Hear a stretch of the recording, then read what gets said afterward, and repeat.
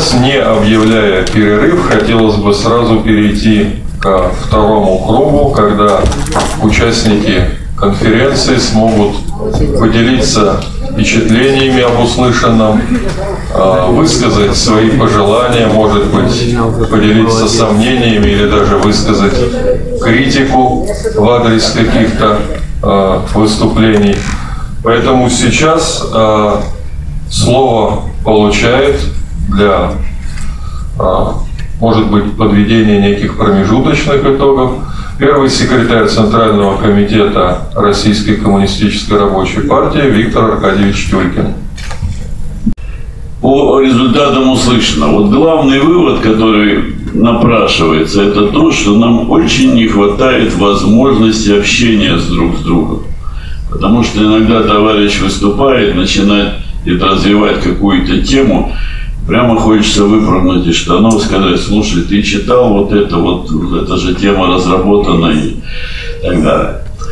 И это говорит о том, что не хватает формы этого общения, да? Потому что собираемся, мы встречаемся очень редко, какие возможности имеются. Те возможности, которые представляет ряду партий встречи Солиднет, это тоже весьма ограничено. Там бывали случаи, во Вьетнам летишь и 7 минут для выступления. Да, и, и как? Поэтому вот в первую очередь надо думать над формами, и эти формы уже есть многие. Прежде всего, рядом партий, 10 партий ортодоксальной направленности, здесь присутствующих, совместно выпускает теоретический журнал «Коммунистический обзор», который издается силами Компартии Греции и так далее большая рекомендация обратить на это внимание и участвовать в работе журнала. Он публикует статьи не только учредителей, но и других партий. Во-вторых, выходит для русскоязычных теоретический журнал, совместно выпускаемый э, Союзом коммунистов Украины РКРП. Один из лучших журналов, а на русском языке лучший теоретический журнал, который есть. Марксизм и современность. Наконец, именно из таких соображений вы подошли к выпуску вот этого доклада «100 лет Октябрьской революции. Уроки для коммунистов» и выпустили его для вас на русском и на английском языках, чтобы делиться этими мыслями. И совсем не надо думать, что мы его выпустили, ходим на двух щеки, что все, мы тут все высказали, мы самые правильные, все знаем – у нас достаточно много внутри своей партии еще по тем вещам, которые в докладе изложены. Существует точек зрения, споров и разных вариаций, да? Не об этом речь. Но вот иметь возможность и знать, какая партия что разрабатывает, и делиться этим, это чрезвычайно важно. В связи с этим разрешите не согласиться с моим другом Шавдоловым Шади относительно того, что тут совершена ошибка. Якобы большевики чуть ли не вроде там предсказатели выступают или как. Отнюдь нет, наоборот. Читаю эту страницу и эту мысль, Давлетович. Относительно предсказывали они революции, готовили, назначали или.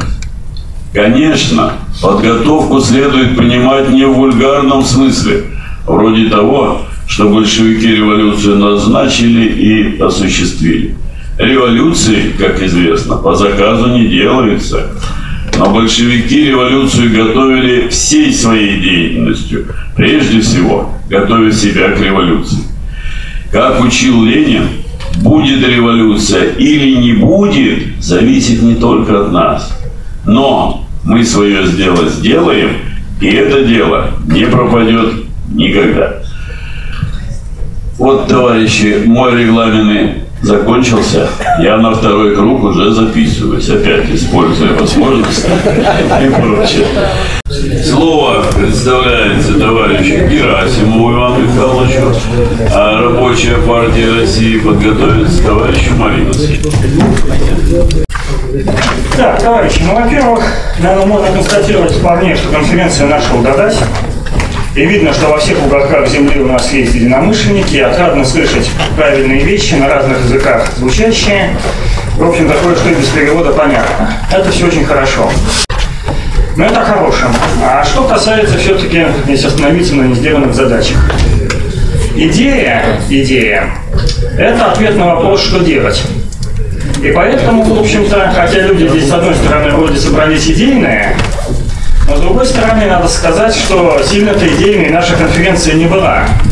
Я вот выписывал, кто что предлагает делать конкретно, и кто что делает. Значит, во-первых, предлагается организация советов, но организация это идет с улицы. И товарищи из Донбасса это предлагали, и товарищи из России. То есть вот толпа на улице собралась, она избрала некий совет, и он, значит, пошел куда-то там что-то решать. На Донбассе это, в общем-то, шло, в России, конечно же, это не пошло. Но если подумать, что это за форма самоорганизации? Это форма самоорганизации адекватная, кому? Адекватная Новгородской республике, Вече. Это какой там, 14 век, 15 То есть это буржуазная демократия на самой ранней своей стадии. В начале 21 века, но это такая форма, вообще говоря, есть уже предприятия, в том числе крупные, есть организация по предприятиям. И это, вообще говоря, ну нету предприятий. Ну, значит, и вы в состоянии 15 века, ну, добро пожаловать в раннюю буржуазную демократию. Вот. Значит, второе. Далее, писать письма. Но писать письма, надо сказать, вот Клара Ажугетовна, она очень разумная женщина, в этом есть резон. Ленин вообще говорил о том, что написание писем в Совнарком в каком-то письме своем говорил, это одна из форм классовой борьбы. И как форму борьбы с бюрократизмом он очень это приветствовал.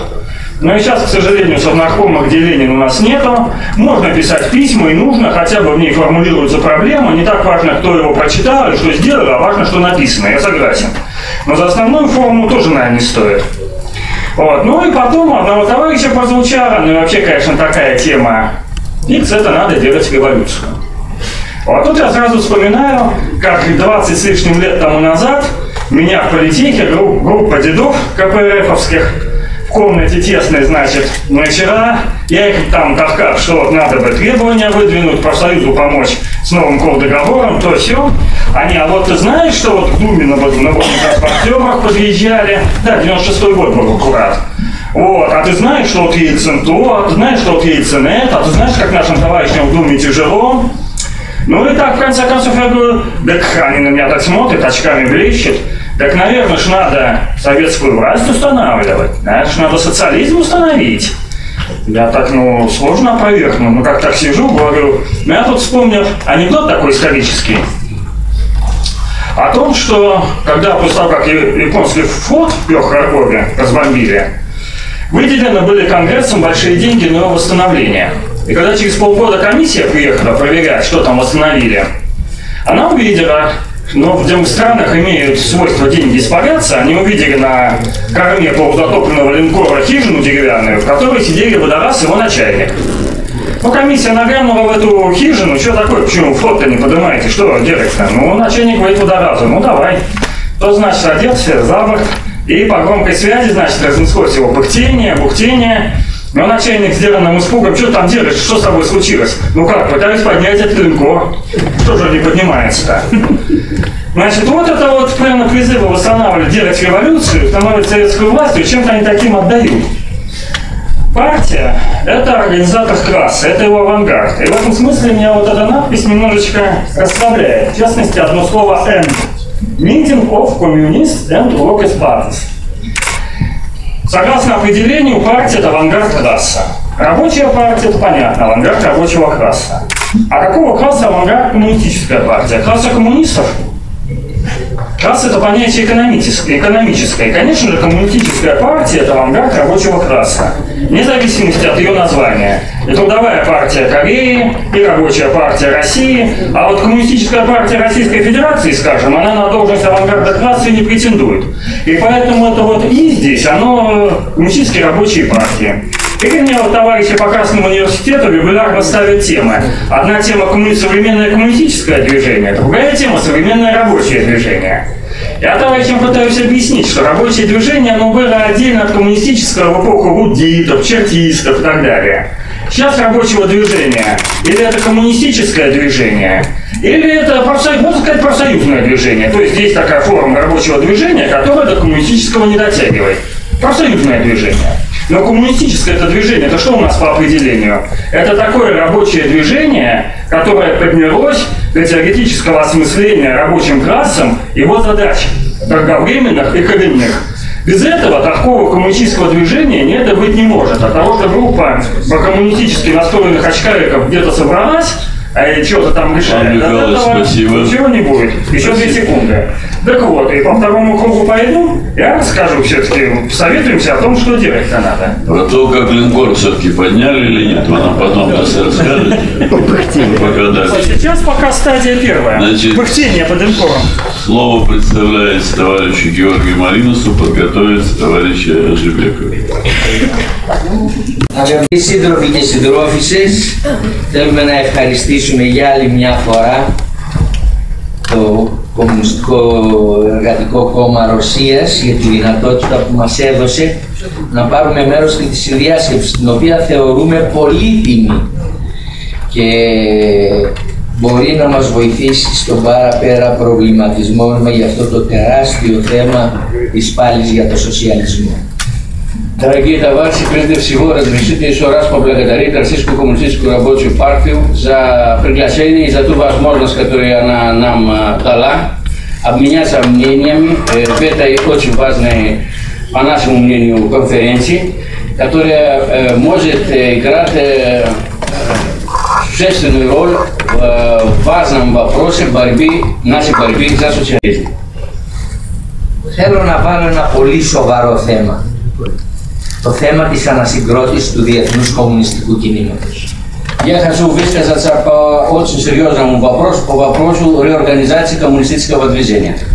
Τα κομμουνιστικά κόμματα που πιστεύουν στο μαρξισμό-λενινισμό είναι η πρωτοπορία της πρωτοπόρας τάξης, της εργατικής τάξης. Коммунистические партии, верующие в марксизм ленинизм, они являются авангардом, авангардного движения э, рабочего класса.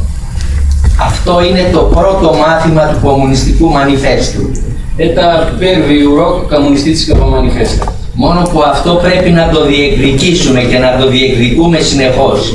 Но мы этот урок должны каждый раз преподавать э, в деле. για να είμαστε η πραγματική πρωτοπορία που παλεύοντας για την ανατροπή του καπιταλισμού, για την επαναστατική ανατροπή του καπιταλισμού, για την οικοδόμηση του σοσιαλισμού και του κομμουνισμού, δίνουμε καθημερινά σε όλα τα μέτωπα της ταξικής πάλης στη μάχη και προετοιμάζουμε, οργανώνουμε, διαπαιδαγωγούμε την εργατική τάξη για την επανάσταση. Για τα βόστο πιστά να σταγιάσει με να μοραγώσει βακλάσα. Παρυπίζα σοτσιαλίσμ, νους να γυζει την ή ε, του κορυπού. Σε αυτό θα δοκιμαστούμε όλοι και όχι σε συνθήματα. Με βέτα η παρυπέψη που με πραβεριάτσα ανοίγει. Το Κομμουνιστικό Κόμμα της Ελλάδας είναι ένα κόμμα με 100 χρόνια ιστορία Нашей партии через год исполняется 100 лет э, истории. Με πάνω από 35 χρόνια παρανομία. В течение этих лет, в 35 лет наша партия была в подполье. Με πρωτοπόρα στάση στην αντίσταση και με εμφύλιο πόλεμο. Наша партия играла ведущую роль э, в антифашистской борьбе и в гражданской борьбе. Έχει 15 βουλευτές και 2 ευρωβουλευτές και είναι δεύτερη δύναμη στο εργατικό κίνημα. Наша партия имеет в настоящее время 15 депутатов в национальном парламенте, 2 депутата в Европарламенте, и она является второй силой в профсоюзном движении нашей страны. Είναι δεύτερη δύναμη στο νεολαίστικο φοιτητικό κίνημα. Она вторая сила в молодежном студенческом движении. Κι όμως λέμε, αυτό μας δίδαξε το τελευταίο συνέδριο, ότι αυτά δεν είναι αρκετά. И несмотря на это, мы говорим, что это недостаточно. И об этом говорим на нашем последнем съезде. ότι πρέπει να, να, καταπολεμήσουμε την αναμονή, τον εφησυχασμό. Ιστονούς να παρότησα πρότιξε σάμω Σπακόης, πρότιξε σάμω Ουνταβόλστιγε. Γιατί είμαστε κόμμα της σοσιαλιστικής επανάστασης, Παταμούς ανάσα πάρτια, για βέτσα πάρτι, Σοσιαλιστής Και πρέπει να προετοιμάσουμε την εργατική τάξη. Στην Ελλάδα, με πρωτοπόρα δύναμη το ΚΚΕ και το πανεργατικό αγωνιστικό μέτωπο, γίνονται κάθε χρόνο δεκάδες γενικές απεργίες και εκατοντάδες κλαδικές, επιχειρησιακές, εκατοντάδες συλλαλητήρια. В Греции каждый год во главе с Компартией Греции с Всенародным боевым фронтом профсоюзу Και- проводятся сотни э, отраслевых и э, забастовок, забастовок на предприятиях и десятки забастовок на общенациональном уровне. Και λέμε ότι δεν είμαστε ευχαριστημένοι για... και κάνουμε έντονη αυτοκριτική γιατί πιστεύουμε βαθιά ότι η αναγκαιότητα της οργάνωσης και της διαπαιδαγώγησης της εργατικής τάξης για τη σοσιαλιστική επανάσταση έχει μεγάλες απαιτήσεις. Но мы этим э, не, не довольствуемся. Мы считаем, что организация борьбы рабочего класса за социализм имеет большие, большие требования. Και με αυτό το πνεύμα επιμένουμε στην ανασυγκρότηση του Διεθνούς Κομμουνιστικού Κινήματος. Исходя из этого, мы выступаем за реорганизацию международного коммунистического движения. Βασικοί όροι, προϋποθέσεις, πολύ σύντομα, είναι κάθε κομμουνιστικό κόμμα στη χώρα του να οργανώνει την εργατική τάξη, να την οικοδομεί στους χώρους δουλειάς, να αντιπαλεύει την επίθεση και τον αντικομουνισμό της αστικής τάξης. Коротко, какие предпосылки? Первая предпосылка, что в каждой стране каждая коммунистическая партия должна быть во главе борьбы и должна организовать борьбу рабочего класса в своей стране. Όλες οι δυσκολίες αντιπαλεύονται. Καμιά δεν έχει θεϊκές ικανότητες. Можно бороться со всеми трудностями, которые имеются перед нами.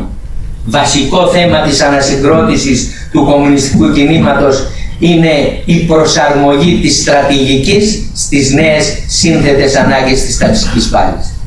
Другая предпосылка – это приспособление стратегии Компартии на современных требованиях борьбы. Δεν έχουμε κάνει όλα τα κόμματα και πού είναι εδώ τα ανάλογα βήματα. Я, им- я имею в виду, что не все партии делали соответствующие э, шаги, даже те партии, которые здесь присутствуют. Αλλαγή στρατηγικής σημαίνει προσαρμογή της στρατηγικής στην εποχή μας. Изменение стратегии означает, что мы должны приспо- приспособить нашу стратегию к нашей эпохе. Στην εποχή περάσματος από τον καπιταλισμό στο σοσιαλισμό. И наша эпоха – это эпоха перехода от капитализма к социализму. Προετοιμασία για την ανατροπή της εκμετάλλευσης ανθρώπου από άνθρωπο. И это подготовка для того, чтобы преодолеть эксплуатацию человека человеком.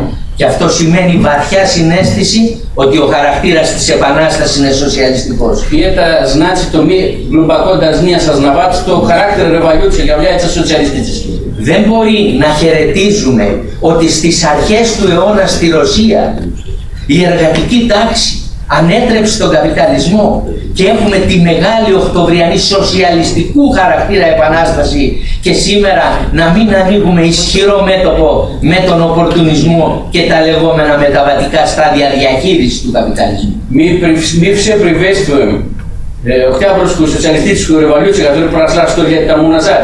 И нельзя э, об этом э, забывать и приветствовать в то время и говорить о том, что нужно какие-то сегодня, сто лет после этого, нужно еще какие-то промежуточные стадии пройти, какие-то промежуточные этапы до, до социализма. Ο καπιταλισμός σάπισε. Ο υπεριαλισμός δεν είναι απλά μια εξωτερική πολιτική. Είναι το ανώτατο, το τελευταίο στάδιο του καπιταλισμού και πρέπει να προετοιμαζόμαστε. καπιταλισμού είναι γνηλόι ή ε, μοναπαλιστής καπιταλισμού, ιδεαλισμού, εγγές πασλέπνα εστάτια. Η μήτας λίγη κατώπιση του εξουσιαλισμού.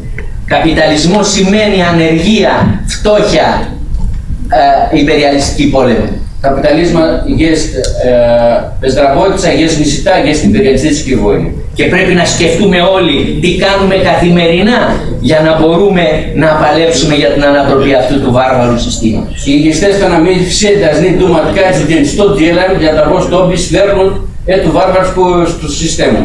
Θα καλούσα όλους τους συντρόφους να είμαστε πιο αυστηροί στους επιστημονικούς όρους, ιδιαίτερα στο τι σημαίνει σοσιαλιστική επανάσταση και σοσιαλιστική υποδόμηση, γιατί έχουν νομοτέλειες. Следовательно, я бы призывал всех товарищей быть более, более точными, более э, четкими, по- э, что касается э, таких научных понятий, как социалистическая революция. Δεν μπορεί να οικοδομηθεί σοσιαλισμός χωρίς την εργατική εξουσία, χωρίς την κοινωνικοποίηση των μέσων παραγωγής, χωρίς τον κεντρικό σχεδιασμό. Невозможно построить социализм без обобществления средств производства, без централизованного планирования экономики, без рабочего контроля. Δεν μπορεί να οικοδομηθεί σοσιαλισμός με τις λεγόμενες αριστερές κυβερνήσεις που διαχειρίζονται το εκμεταλλευτικό καπιταλιστικό σύστημα. Невозможно построить э, социализм, сформируя так называемые левые правительства, которые э, действуют в рамках э, капитализма. Έχει απαιτήσει αυτή η τοποθέτηση. Следовательно, э, отношение к социализму имеет какие-то требования. Καταλαβαίνουμε το, το, το συναισθηματισμό όλων μας και για την Κίνα και για το Βιετνάμ και για την Κούβα και για την Κορέα. Конечно, э, можно понять э, э, такое э, отношение э, чувств- чувствительное к Китаю, к, к Вьетнаму, Кубе. Έχουμε εκφράσει την αλληλεγγύη μας και την εκφράζουμε αυτούς τους λαούς. Μην βεραζάμε να σου σχολιάσουμε. Η Βηραζάλη, η Βηραζάλη, η Βηραζάλη. Αλλά τι σχέση έχει η Κίνα σήμερα που το μονοπωλιακό κεφάλαιο έχει κυριαρχήσει με καπιταλιστικές σχέσεις παραγωγής με το σοσιαλισμό; Λογακό κακο με νικητάει. Δεν τα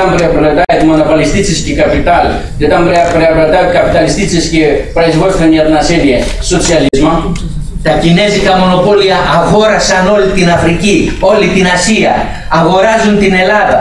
Китайские монополии купили всю Африку, всю Азию, сейчас покупают Грецию. Αγόρασαν το μεγαλύτερο λιμάνι της Ελλάδας. Το μονοπόλιο Κόσκο αγόρασε το λιμάνι του Πειραιά. Китайская монополия Costco купил самый крупный порт Греции, порт Пирея. Προχθές υπονόμευσε την απεργία των εργαζομένων.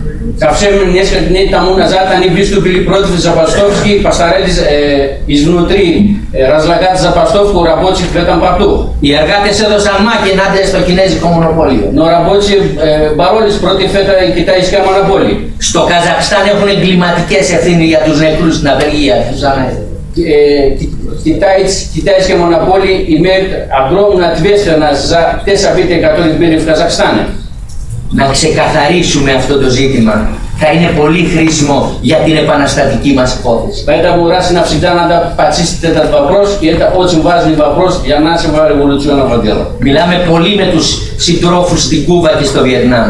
Мы и с товарищами из Кубы, и с товарищами из Вьетнама обменяемся мнениями, Όμως να μην ανησυχήσουμε.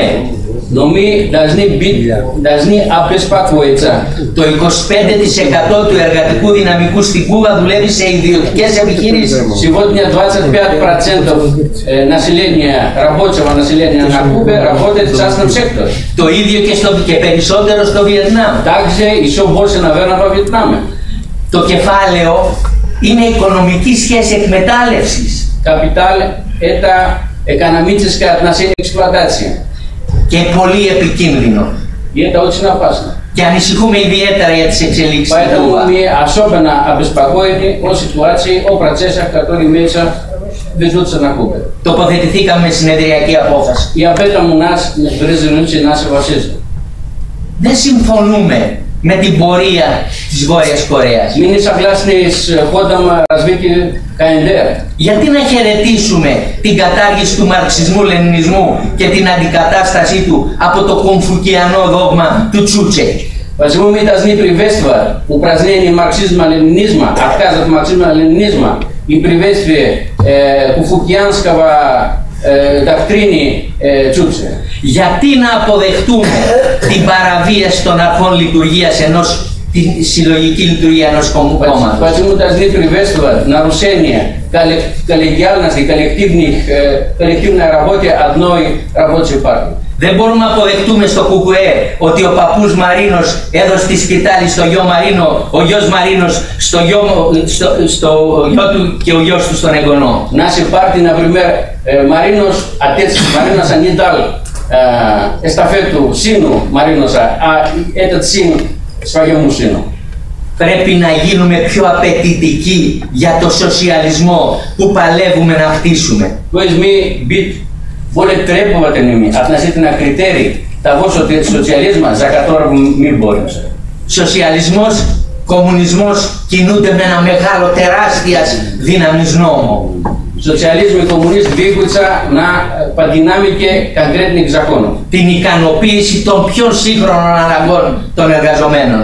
Удовлетворение самых современных требований трудящихся. Και αυτό το πύχη πρέπει να τον καθί- τον κρατήσουμε ψηλά. И э, эту рамку надо высоко поставить. Και η σοσιαλιστική κοινωνία που θα χτίσουμε να παίρνει υπόψη την τεράστια εμπειρία της Σοβιετικής Ένωσης. И социалистическое общество, которое мы должны построить, должно учитывать Όπιτα Σαββέτσικα Βασαγγέλουσα. Αλλά, αλλά και την αρνητική πείρα της αντεπανάσταση. Το όμω λέει η ατριτσάτενη όπιτα κοντρεβάλιουσα.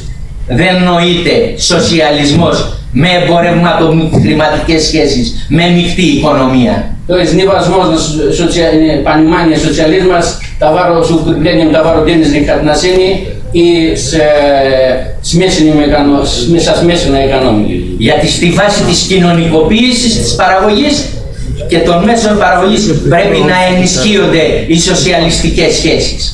Потому что на основе обобществления средств производства нужно укреплять социалистические отношения. Ευχαριστούμε πολύ τους συντρόφους και ιδιαίτερα το Προεδρείο για τη δυνατότητα που μας έδωσαν.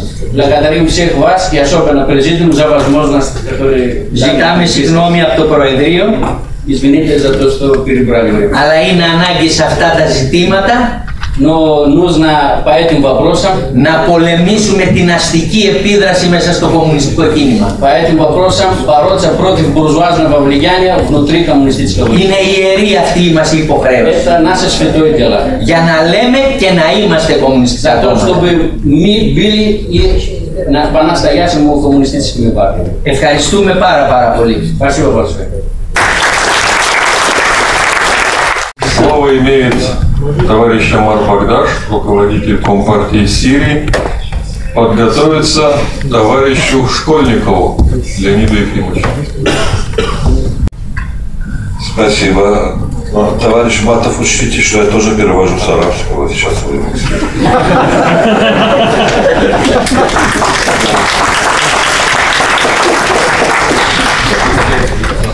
Дорогие товарищи, было очень много высказано мыслей, которые нас не обогатили, конечно. Но есть вопросы, которые надо еще их надо еще поспорить о них. И как сказал Энгельс, среди единомышленников, среди коммунистов, разногласия мнений – это локомотив нашей, нашего движения, нашей партии. Так что будем подбрасывать дрова, уголь в этот ло- локомотив. Я полностью согласен с тем, что сказа- сказали товарищи из РКРП, что победа Великой Отечественной войны в значительной мере, или не, не в основной, это победа Коминтерна. Так как э, ВКПБ – это основная сила Коминтерна, это первый среди равных было тогда. Поэтому опыт Коминтерна нам очень важен. Некоторые товарищи э, высказывают э, критическое мнение по политике Коминтерна об альянсах или союзах и так далее. Я думаю, имеется в виду седьмой съезд Коминтерна 1935 года. Как вы все знаете, в э, конце 20-х годов на шестом съезде Коминтерна была поставлена такая установка, такой ос- основной лозунг «класс против класса». Он сыграл свою роль. Он когда был выдвинут? Он был выдвинут, когда начался сильнейший циклический, циклический экономический кризис э, на Западе, и когда могла м, по ряду условий э, появиться революционная обстановка. Но ко времени седьмого съезда Коминтерна обстановка изменилась. И тут надо сказать, у Ленина очень много есть э, определений мар- э, марксизма, но одно из них, которое может казаться прагматичным, но оно, по-моему, в самой сущности нашей работы. Что марксизм есть, ну, Павел уже марксизм есть правильная политика партии рабочего класса в конкретных условиях. Поэтому в 1935 в 1935 году на седьмом съезде Коминтерна была выработана Георгием Димитровым, была изложена, это была выработана коллективным э, руководством Коминтерна политика э, народных фронтов в странах развитого капитализма против фашистской угрозы именно и политика э, национальных фронтов, антиполитических фронтов в странах колониях и полуколониях. У некоторых товарищей есть мнение, что это неправильная политика. Ну как же неправильная? Тогда же исходили из основного звена. Какое основное звено было? Опасность фашизма. Поэтому, когда ты делаешь, видишь главное звено, ты делаешь союз со всеми теми, которые тебе могут помогать в этой борьбе. Первый пример этого была гражданская война в Испании – кстати, в гражданской войне в Испании был крепкий союз между коммунистами и как раз буржуазией, республиканцами. И не республиканцы изменили, они остались за последние э, дня республики вместе с, коммунистами. Кто-то, кто изменил, это социал-демократы тогда. А республиканцы, правительство Негрина было в крепком союзе с э, коммунистами. То же самое в, в странах э, колоний есть опас, есть главная угроза, это прямое колониальное владение, владычество. Так что мы сразу будем говорить о социалистической революции в колониях. Какая может быть социалистическая революция в оккупированной стране? Какая может быть демократия в оккупированной стране? Первая задача – это национальная независимость. Поэтому поэтапность – это не мягко. Это исходит, из этого мы исходим, когда видим, какая конкретная э, обстановка в каждой э, э, стране. Даже в России, зачем перебирать Ленина, что не было в России по, по этапности. Слава Богу, образованные марксисты. Давайте вернемся к книге Ленина «Очередные задачи советской власти». Какой он по этапности тогда нарисовал? Потом была гражданская война и иностранная интервенция, поэтому ему пришлось, как правильному марксисту, как великому марксисту, сменить свою тактику. Закончился военный коммунизм. Что был? Был НЭП. НЭП – это прямой социализм. Это был переходный период к, соци... к социализму. Потому что она прямо в социализм, в стране, в которой 89% крестьянства и 79% неграмотных невозможно это было. Э, это уже был бы полпот, а не Ленин. Поэтому то, что было сделано великой ВКПБ, великой партии большевиков, это было именно воплощение марксизма, исходя из конкретных условий. Вы разве могли бы говорить о Монголии, где победила хорошая партия союзника, что давай Монголия сразу же в социализм, из раннего феодализма. О российских национальных окраинах можно это было говорить? А почему сейчас это можно говорить? Почему надо говорить странам из окраин капиталистического мира, ждите, пока победит социалистическая революция в центрах э, пересечения? Пока что мы будем делать? Читать газеты?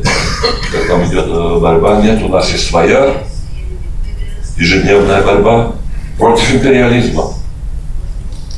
Наша основная цель – это социализм. Но, как сейчас правильно э, сказано было, объективные условия – это не мы их рожаем. Наше дело готовить, субъективный фактор для этих объективных.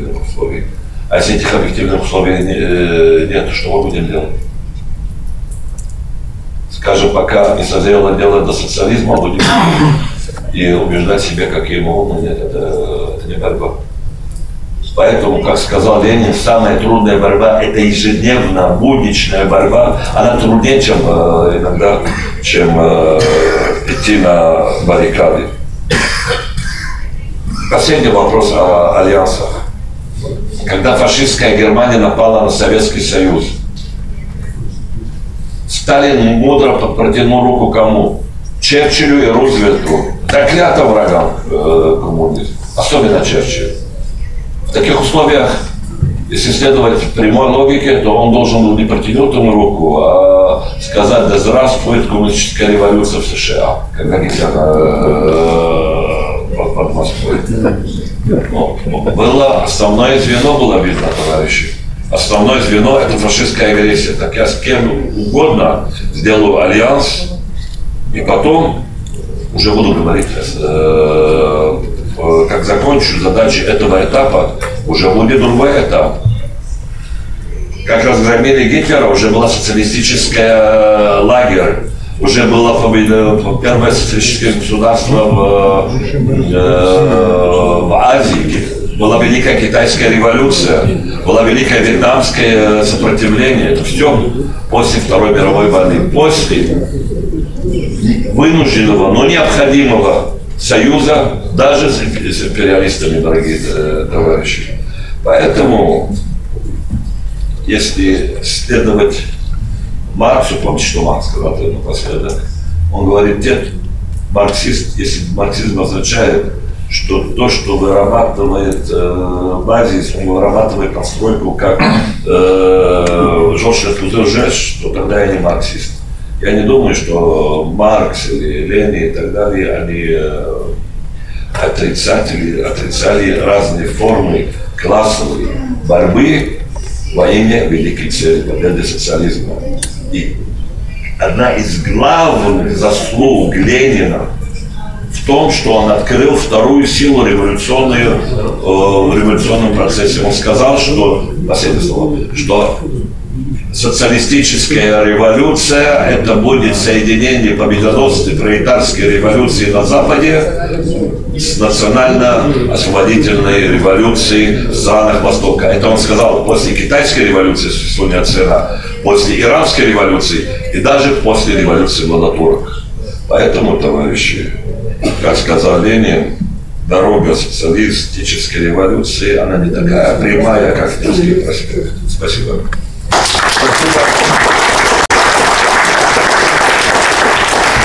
Замечание ведущему. Двойной стандарт у нас получается. Один, пять минут, через 10 минут. Так нельзя. Мы Надо пошли всем- навстречу. Надо всем давать одинаковое время. Вот так договаривались. Мы пошли навстречу товарищу Богдашу, у которого русский язык не родной. Товарищи, выступает сейчас Леонид Ефимович Школьников, руководитель белорусских коммунистов. Подготовится Геннадий Ивановичу Филиппову. Я, может быть, говорю несколько вперед, но оттолкнусь от декларации. Надо уже пора, я думаю, о ней говорить. Это очень серьезный документ. Во-первых, могу сообщить, что э, от имени Беларуси я эту декларацию обязательно подпишу. Хороший документ. Вот. Э, Например, такая сильная сторона, ради чего вполне можно было собраться, что диктатура пролетариата – это есть форма власти пролетариата, которая должна быть на протяжении всей революции, вплоть до полного коммунизма. Уже ради этого можно было собраться на эту конференцию. Я, правда, еще добавил, что диктатура пролетариата, руководствующая научной теорией, той самой, о которой говорил здесь предшествующий оратор товарищ Богдаш из Сирии. Он дал очень точное, даже назвал интересную фамилию Пол Пот. Это могла быть тоже диктатура пролетариата, только, как видите, без науки. И что из этого получилось? Конечно, в декларации есть много других сильных сторон. Я просто назвал для примера. Но, как и у всякого документа, конечно, будут слабости, которые нам э, не помешают ее подписать на данном этапе.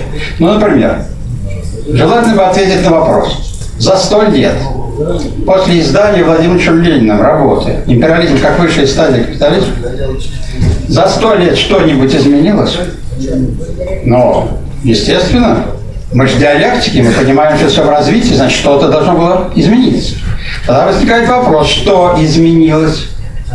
И если мы ответим на этот вопрос, то мы можем ответить на следующий вопрос.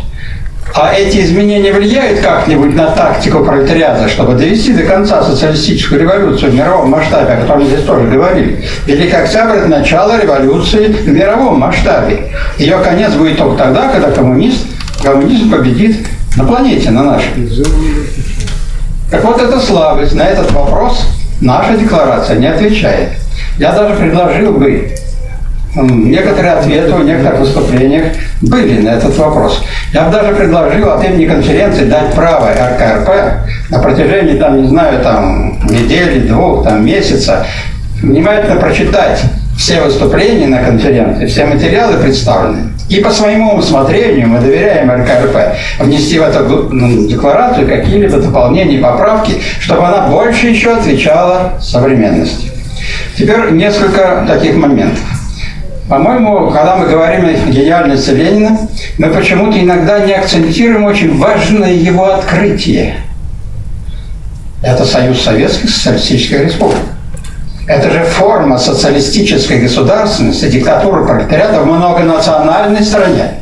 А теперь расскажите, в наше время государство многонациональное или нет? Большинство многонациональное.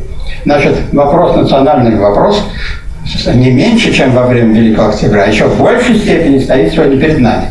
И поэтому открытие Ленина формы многонационального социалистического государства, Союз Советских Социалистических Республик, должен быть соответствующим образом проанализирован, как и проанализировано, что случилось с Советским Союзом, как государством многонациональным диктатуры пролетариата. И почему это случилось? Да, причины говорились, правильные причины, оппортунизм руководящей партии, авангард и так далее, и так далее, целый этот каскад, правильно. Деформация социализма, и потом э, буржуазные вызревшие отношения взорвали социалистическую настройку. Все правильно, механизм нам есть. Вот. Но мы это должны для себя учесть, чтобы не повторять этих ошибок. Э, затем, э, Страница 2 декларации. Марксизм-ленинизм. Товарищи, а не пора ли нам говорить? Марксизм, ленинизм, сталинизм.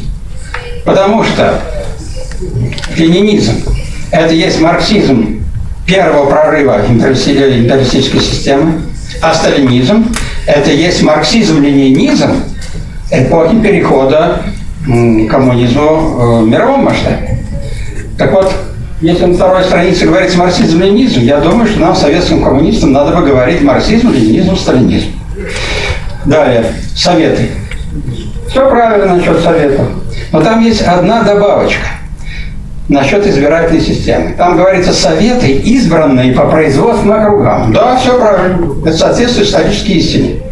Но является ли и выборы и по производственным округам обязательным условием социалистической победы социалистической революции? Сомневаюсь, потому что это э, форма, избирательная система, но не обязательный политический, так сказать. Я бы эту фразу просто убрал. Все остальное тут по советам э, абсолютно верно. Вот сейчас, например, в Беларуси, когда у нас госкапитализм, у нас советы есть.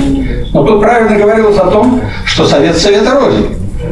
Есть пробуржуазный совет, а есть э, Леонид совет. регламент. Да, да, да, я еще не исчерпал. Вот у меня.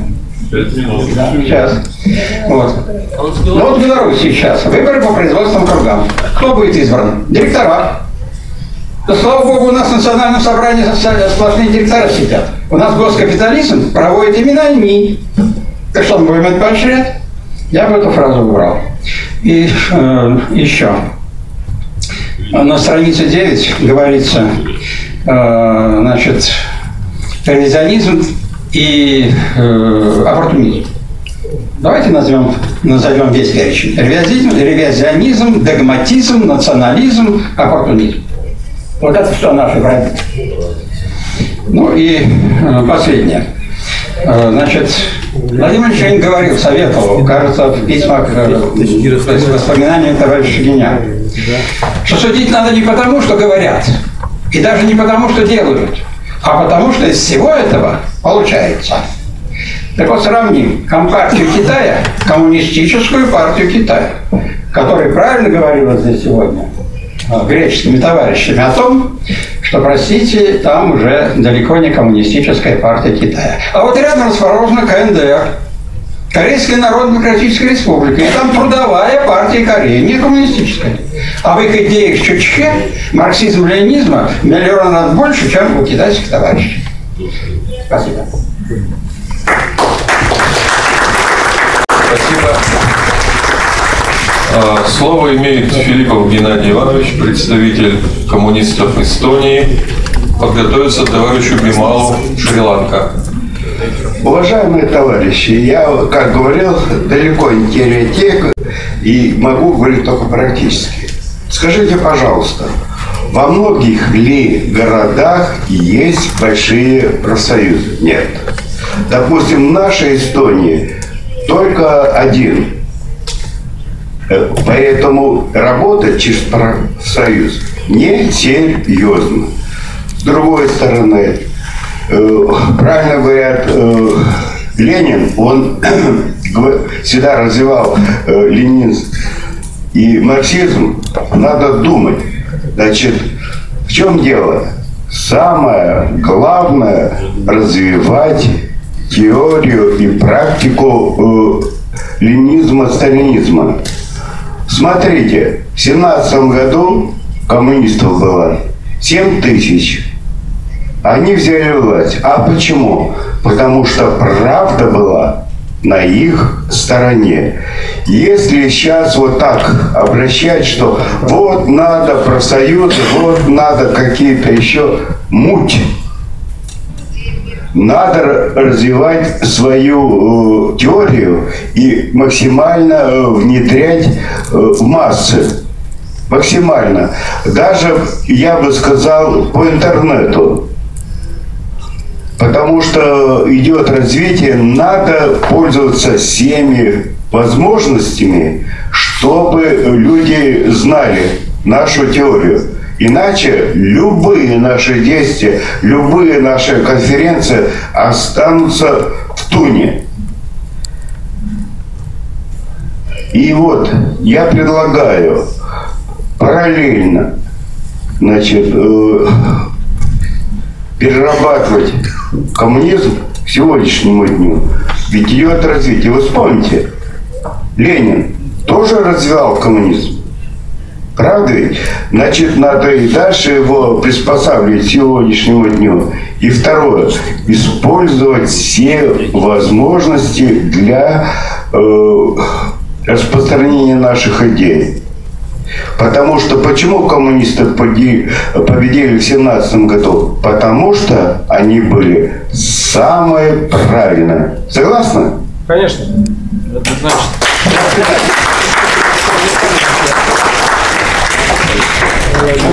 Спасибо за очень короткое и емкое выступление. Товарищ Бимал, а, Народный фронт освобождения Шри-Ланки.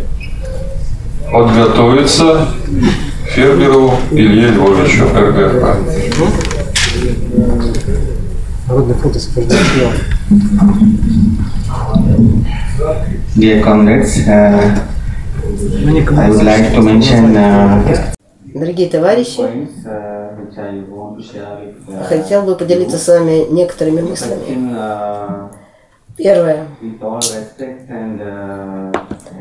Мы уважаем uh. Мы уважаем те документы, которые вы предложили на рассмотрение конференции. Russian Workers' Communist Party on the 100 years debate October Social Revolution and the lessons for contemporary communism. Э, Название декларации перед вами. Вы можете зачитать его для себя сами.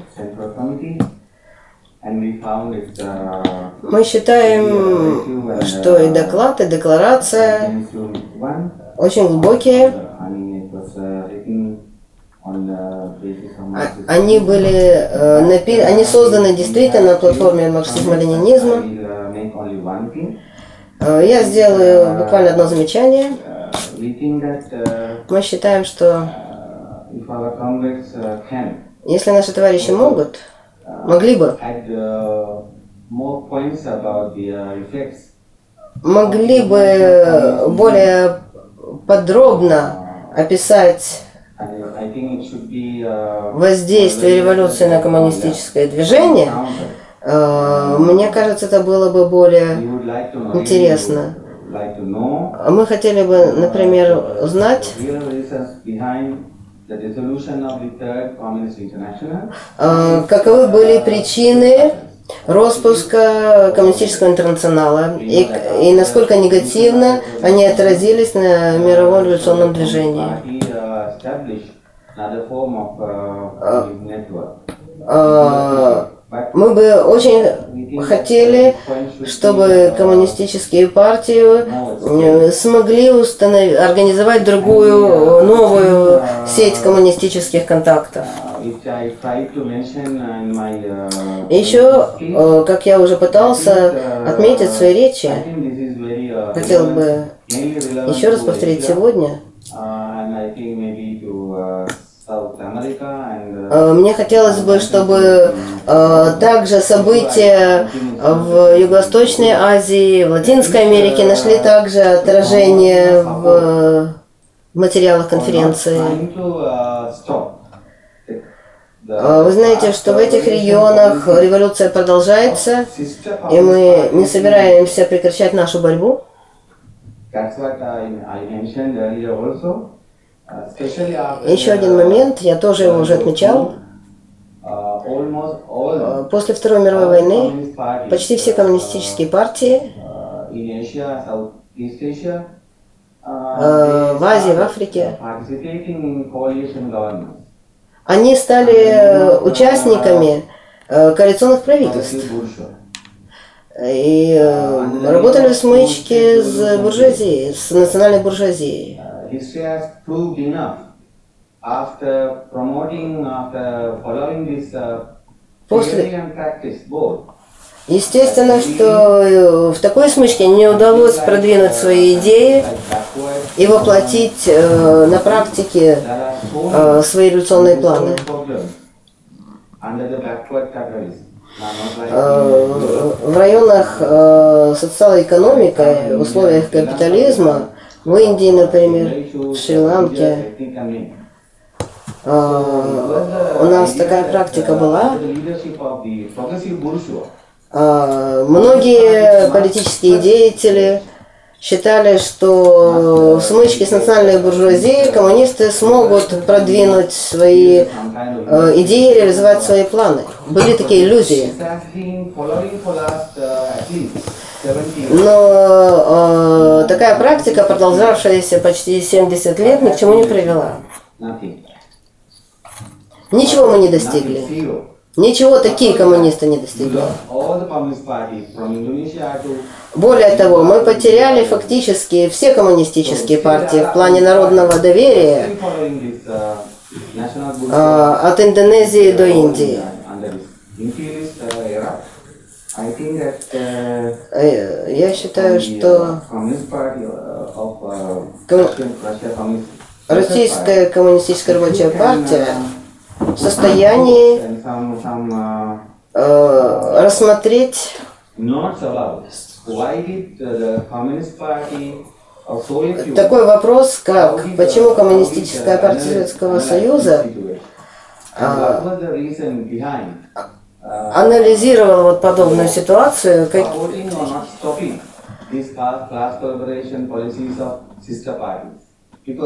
почему коммунистическая партия Советского Союза поддерживала таких, по сути, коммунистов-коллаборантов э, в странах Азии и Африки.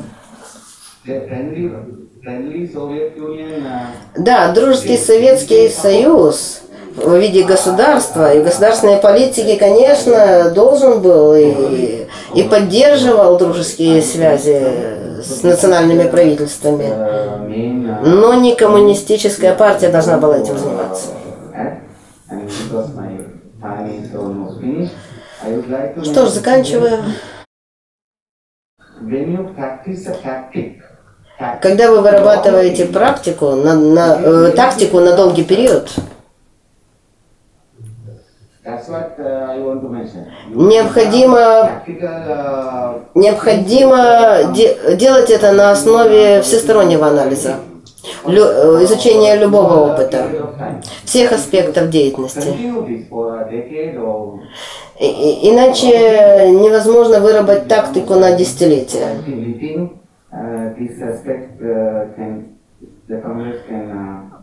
Мне кажется, что вот такими моментами необходимо дополнить нашу декларацию.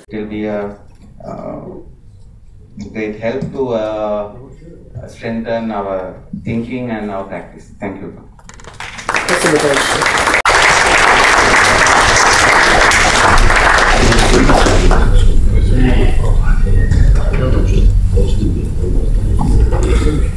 Comrade, if you have any uh, suggestions to the text of declaration, please write it and uh, give us. А, Выступает э, товарищ Ферберов Илья Львович, РКРП. А, Подготовиться товарищу Казенову. Уважаемые товарищи, я хотел бы в своем выступлении сосредоточиться на трех моментах из выступлений товарищей на нашей конференции, которые в той или иной степени э, меня задели, и мне хотелось бы э, остановиться на тех мыслях, которые товарищи высказывают. Первый из этих моментов э, это из выступления наших дорогих болгарских товарищей, которые в своем выступлении сосредоточились прежде всего, акцентировали свое внимание на русском мире, русской цивилизации и внешних угрозах для этого мира, для этой цивилизации. Но мы с вами коммунисты и должны не забывать о том, что и в русском мире, и в любом другом мире или цивилизации, безразлично к какой национальности это относится, существует в наше время два мира, две цивилизации. Это мир угнетателей и мир угнетенных. И между ними идет не э, гипотетическая война, а самая настоящая, обычная война между трудом и капиталом, которая не затихает ни на минуту и нигде. И иногда эта война переходит в самую обычную горячую фазу, когда стреляют. Или мы забыли черные дни октября 1993 года, когда на Москву был совершен танковый налет, и Москва была подвергнута артиллерийскому обстрелу. Когда буржуазный мир обстреливал трудящихся Москвы. И в этой войне погибли многие сотни людей. Буржуазия не стала устраивать траур по этому событию. Для нее это был праздник. Это была ее победа в этой войне, в этом сражении. Или, может быть, мы забыли 1999 год, когда в Ленинградской области буржуазия расстреливала рабочих Выборгского целлюлозно-бумажного комбината, которые посмели захватить власть на комбинате в свои руки и организовали там производство. Это была война. Поэтому говорить о том, что может быть война извне, она может быть. Империализм действительно всегда беременен войнами. Империализм просто не может существовать без войн. Это действительно так. Это действительно так. И об этой угрозе буржуазия охотно говорит. Потому что это веками, тысячелетиями испробованный метод сплочения всей нации, всего народа вокруг власти перед лицом внешней угрозы. А вот о той войне, которую она ведет против трудящихся, буржуазия никогда не упоминает. Кто-нибудь может из вас напомнить мне, в каком буржуазном издании, в какой буржуазной передаче вспомнили о тех событиях, о которых я сейчас сказал? О 93-м годе, о 99-м годе не вспомнят. Им это невыгодно. Если они об этом будут нам напоминать, то рабочий класс вспомнит о том, что он в состоянии войны против буржуазии, а им это не нужно. Им нужен мир между буржуазией и рабочим классом, для того, чтобы усидеть у власти. Это одна мысль, которую я хотел подчеркнуть. Вторая мысль, это из другого выступления, о том, э, промелькнула такая мысль, о том, что э, вред э, нанесла борьба большевиков в свое время против Троцкого и троцкизма. Позвольте с этим категорически не согласиться. Дело-то в чем, что борьба против Троцкого троцкизма началась вовсе не со сталинских времен.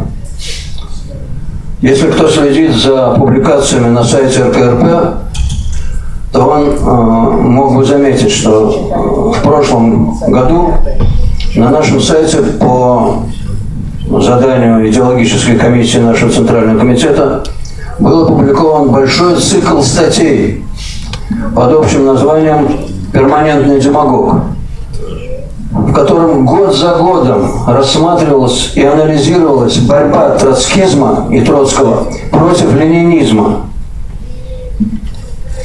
Там были приведены документы, статьи и выступления Троцкого против ленинизма и Ленина против Троцкого и троцкизма подробнейшим образом. И было документально доказано, что троцкизм – это враг коммунизма, самый настоящий и непримиримый. Да, правильно было сказано, что на определенном этапе э, вступления межрайонной организации в э, партию большевиков сыграло положительную роль. Это было тактическим ходом.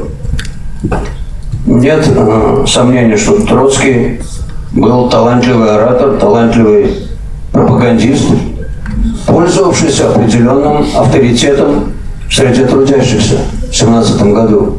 Это действительно так. Но таким авторитетом пользовались и другие партии, и эсеры, и меньшевики, большим, чем большевики. Поэтому вчитайтесь в ту фразу, которая в нашем докладе к этой конференции было подчеркнуто, что социалистическая революция победила не потому, что большевики объединились с меньшевиками, а как раз наоборот. Илья регламент. Да, я э, заканчиваю эту фразу и на этом заканчиваю. Как раз наоборот. Потому что большевики разгромили меньшевиков и разгромили троцкизм идейно и политически. Поэтому в этом смысле я никак не могу согласиться с той мыслью, что данный разгром был вреден для коммунистического движения.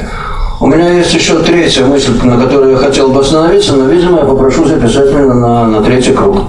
Спасибо. Второй, спасибо. Выступает Александр Казенов, представитель Рабочей партии России. Да,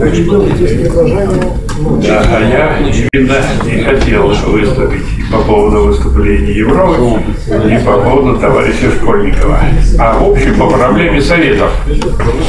Значит, о Советах мы задумались всерьез после того, как наше внимание обратил на эту проблему один из основателей Объединенного фронта трудящихся и Российской коммунистической рабочей партии Сергеев Алексей Алексеевич, профессор Академии труда. Я думаю, светлую его память сохраняют многие, кто здесь присутствуют. Значит, мне казалось, что я доцент высшей партийной школе, хорошо знаю, что такое советы, что такое диктатура пролетариата. И, значит, вопросы, которые в связи с этим есть. Но он вдруг дал ясно понять, что мы, вроде бы серьезные взрослые люди, теоретики, доценты с кандидатами, не понимаем этого. Мы не понимаем простой вещи, что советы – это такие органы государственной власти, которые строятся по производственным округам, и никак иначе. И в этом суть дела. Или вы имеете основу власти в производстве, в предприятиях, или вы имеете территориальные округа, то есть буржуазный принцип формирования и осуществления функционирования власти. Вот чем вопрос. 20, теперь уже, наверное, больше лет, да, 20 лет мы пропагандируем упорно этот вопрос, И, значит, многие, даже наши близкие товарищи, значит, здесь не вполне понимают. Здесь я меньше имею в виду Тамилу Осину, она мне вчера и сегодня напомнила пассионарию, которую тоже, я уверен, все товарищи помнят. И мне кажется, в некоторых вопросах она даже превзошла. Она нас критикует, что вот РПР, Советы, значит, они там не понимают, что Советы диалектически противоречивы. Мы понимаем, что они диалектически противоречивы. Более того, советская власть, когда она победила окончательно, построила социализм в нашей стране в середине 50-х годов, то первое, что она сделала, это отменила Советы. Сталинская конституция, самая демократичная в мире, даже по определению Елены Боннер, отменила Советы. Почему? Потому что показалось товарищам, что поскольку социализм победил, поскольку теперь все предприятия социалистические, советские, то вроде как и выборы можно и теперь сделать не, не такие. И этим был отрезан корень советской власти. В 90-м году мы с Михаилом Васильевичем Поповым дискутировали здесь в Смолинском райкоме КПСС с Юрием Павловичем Беловым, известным вам, ну, большинству из вас, который нас упрекал, значит, что вот мы там отставим диктатуру пролетариата, мы там сталинисты. И только недавно КПРФ, два или три года назад, значит, признала диктатуру пролетариата как марксистские принципы, как-то с этим руководством действий. Но это в документе. От признания на словах в документе и до дела дистанция большого размера. И пока я не вижу, чтобы они ее, эту дистанцию, начали преодолевать. Значит, и когда поэтому я сегодня услышал вот эту критику декларации по этому пункту, ну, меня как-то это вот так насторожило. Мне казалось, что э, в нашей среде, в наших партиях и этот вопрос соотношения диктатуры и советов, диктатуры и демократии, но он уже ясен и решен. Э, советы не делают революцию, но Советы формируются в революцию. Профсоюзы не делают революцию, но профсоюзные организации, правкомы, они свободно превращаются в советы, а советы в революционные органы. Об этом показал и опыт 1905 года в нашей стране, в том числе в Иваново-Вознесенске, и в 17 году. Сразу после начала событий февральских Э, значит, партия наша большевиков дала указания по организации профсоюзных организаций советов и участие в советах. Поэтому это принципиальный важнейший вопрос. Или мы здесь понимаем соотношение советов и диктатуры как сущности и формы, или не понимаем. Или мы работаем в профсоюзах, не, не просто работаем в каких-то готовых профсоюзах, а мы помогаем их создать создать ту почву, на которой мы можем работать. Если этой почвы нет, то нет и нашей работы. Также и советы. Они могут быть буржуазными в результате борьбы, скажем, буржуазия победит в советах. Мы можем снять этот лозунг вся власть советов, но это наша почва, на которой мы можем работать. В советах собраны рабочие, а рабочие это, так сказать, наша сила, наш интерес. И мы защищаем и выражаем интерес. И нас поймут в них.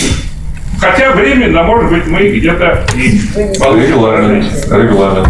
Поэтому, дорогие товарищи, я призываю вас еще раз обратить внимание на эту проблему, разобраться здесь глубоко.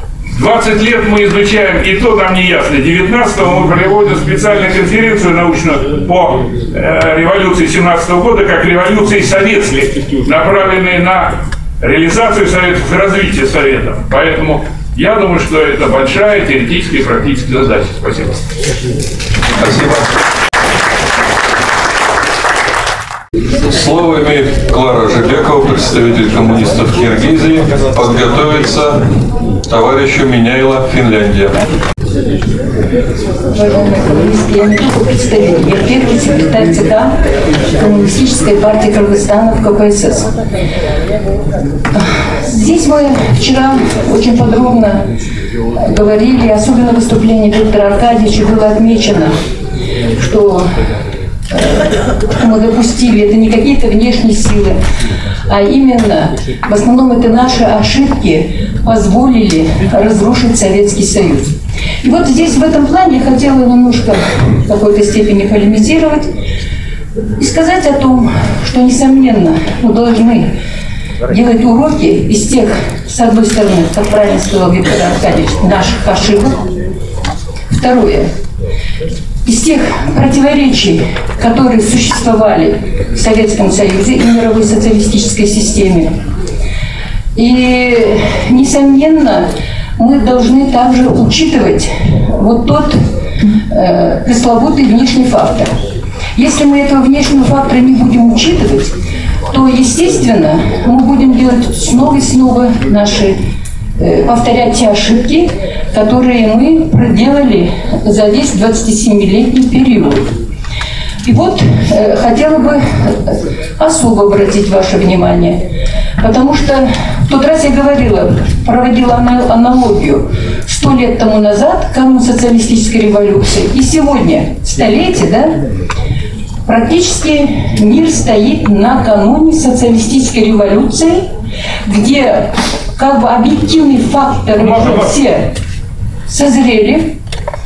Э, один миллиард, все остальные шесть с лишним миллиардов бедствуют, один только господствует и процветает. Запад убивает любое государство, которое ему захочется по выбору. И в первую очередь государство социалистической ориентации. Правильно, да? Это Ливия, это Сирия. А, это КНДР, которого они не хотят вовсю. А, ну и вообще Восток, это Восток для них, это восточная цивилизация, это не цивилизация, там не люди. Это мухи, тараканы, крысы, мыши, их можно убивать сколько хочу, квартум саде, с чем угодно и как угодно. Поэтому далее Э, вы знаете, сегодня Запад, э, вот аналогию хочу провести. Вот когда, как разваливали Советский Союз, какие нападки, какие мы совки, да какие мы тупые, да какие мы ограничены, да как мы работать не умеем, да какие мы краснокоричневые фашисты. И многие бывшие коммунисты даже с этим соглашались. Это же великое, это великое внушение, великий психоз был, массовый психоз, кликушество.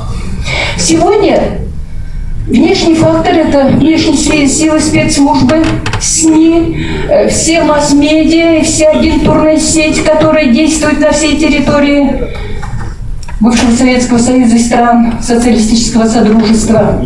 И если мы этот внешний фактор не будем учитывать, и не готовиться к нему, и сегодня не бороться с ними, то мы обязательно придем к тому же. И вот новый момент. Сегодня они хотят развалить Россию. Правильно? Это тоже главный проект. Они развалили Советский Союз, теперь надо развалить Россию. Всеми своими. И тогда э, многие говорят, вот в то время, э, почему развалился Союз? Да потому что вот на газ цены упали, и саудиты там уменьшили, там э, стали, э, ну, они повлияли на снижение цен газа. Во что я вообще не верю, мои дорогие коллеги. Потому что у Советского Союза такая экономика была, такая промышленность была. И потом, почему сегодня россияне должны уповать на цены на, на, на, цены на газ? Ведь почему Европа, Япония и другие государства покупают энергоносители и передовые, да? А страна, которая обладает богатейшими человеческими ресурсами, а, а, природными ресурсами, такая территория. И сегодня должна только сидеть как на наркотической игле и думать, ой, как цены на газ повысится или понизится на нефть, правильно, да? А когда должны вот это использовать для внутренних ресурсов, для поднятия э, потенциала страны, экономики всей. И поэтому вообще, по-моему, не надо никакой Европе продавать. Я помню, когда училась в институте, то ли в школе, нам уже говорили, надо экономить природные ресурсы. Они нужны нашим детям, внукам, правильно, да? А почему должны сегодня Россия должна вырыть еще туда, э, Товарищ выходить на полюса? Простите, регламент уже. Да, еще одну минуту. И вот я хочу сказать о том, что сегодня вот это нападки всеобъемлющую, всеохватывающую ложь, клевета, э, и, и хакер, и, и что угодно. То есть вот эта э, грязная вот эта клевета и фальсификация. Это делали с нами, с советскими людьми, с коммунистами. Советским Союзом, социалистическими странами. И поэтому мы должны выработать иммунитет противодействия этой клевете. И мне кажется, мы сегодня еще, коммунисты, мы еще мало работаем. Еще не научились сегодня на таком глобальном мировом масштабе бороться с этой клеветой. Не слышно нашего голоса против, против... Дайте еще вот как даете, Камил Иосифович, нам тоже не нужно. И завершает, да. Тамила Иосифовна у нас, э, так сказать, вне конкуренции. Да. Поэтому просьба все-таки. Хорошо, хорошо. И я хочу сказать о том, что мы должны сегодня научиться из наших прошлых ошибок бороться в современных условиях. А вот тут говорили, что надо работать на предприятиях, нас на предприятия не пускают. Значит, мы должны думать о том, сколько людей мы должны подготовить в работе в вузах. Уже заранее готовить, чтобы они работали со студентами. А, а как? ИГИЛ как и работает? Мусульмане, вот, это христианский, исламский проект борьбы э, с нами с бывшими республиками Советского Союза. Ну, на нас вот ну, скоро, скоро может нагрянуть Товарищ вот эта война. уже три минуты прошло. Просьба закругляться, уважать Хорошо, уважаю. Все. Я вам желаю, дорогие коллеги, больших успехов. И чтобы, конечно, мы очень хорошо, что мы очень много говорили о социалистической революции, о том, о теории и так далее. Но сегодня лично мне хотелось бы побольше услышать, как нам бороться в современных условиях, в современных условиях геополитической борьбы, в условиях глобалистики. Каким методом, методом, какими технологиями, как через интернет-ресурсы, кого готовить, как, как эти кадры готовить. И когда мы придем к власти, вот как мы должны дальше работать, в вот этой всей ситуации.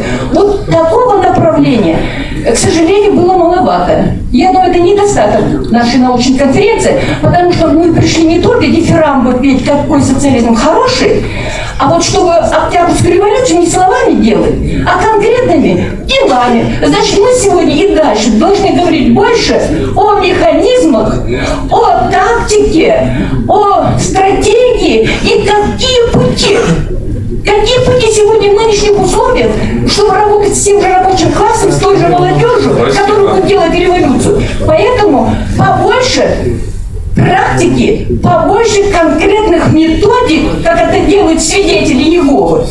А говорите, все Спасибо за такое сравнение. А европейцев я просила коммунистов Европы, которые к нам приехали, Азии, Африки, вы знаете, чтобы вы... Товарищ Ожевеков, простите, но это лучше уже в кулуарах. Хотелось бы, Простите, нет, пожалуйста. да, хотелось бы Симонову последнее слово сказать, чтобы их поздравить, приветствовать, чтобы все-таки ваши голоса в борьбе, вот этой большой геополитической борьбе за справедливость против лжи и клеветы, ваши голоса должны были тоже быть слышны, и тогда нам всем будет легче бороться. Всего вам доброго. Слово представляется представителю Коммунистической рабочей партии Финляндии, товарищу Ларе Миняеву. Правильно? Ларик Миняев, да? Ларе. Пожалуйста. Подготовиться дальше Абдул. Готовится. Водичку пролил. Уважаемые товарищи, а, от имени а, Коммунистической рабочей партии Финляндии я бы хотел поблагодарить наших организаторов а, за это мероприятие. Я бы хотел бы приветствовать всех участников.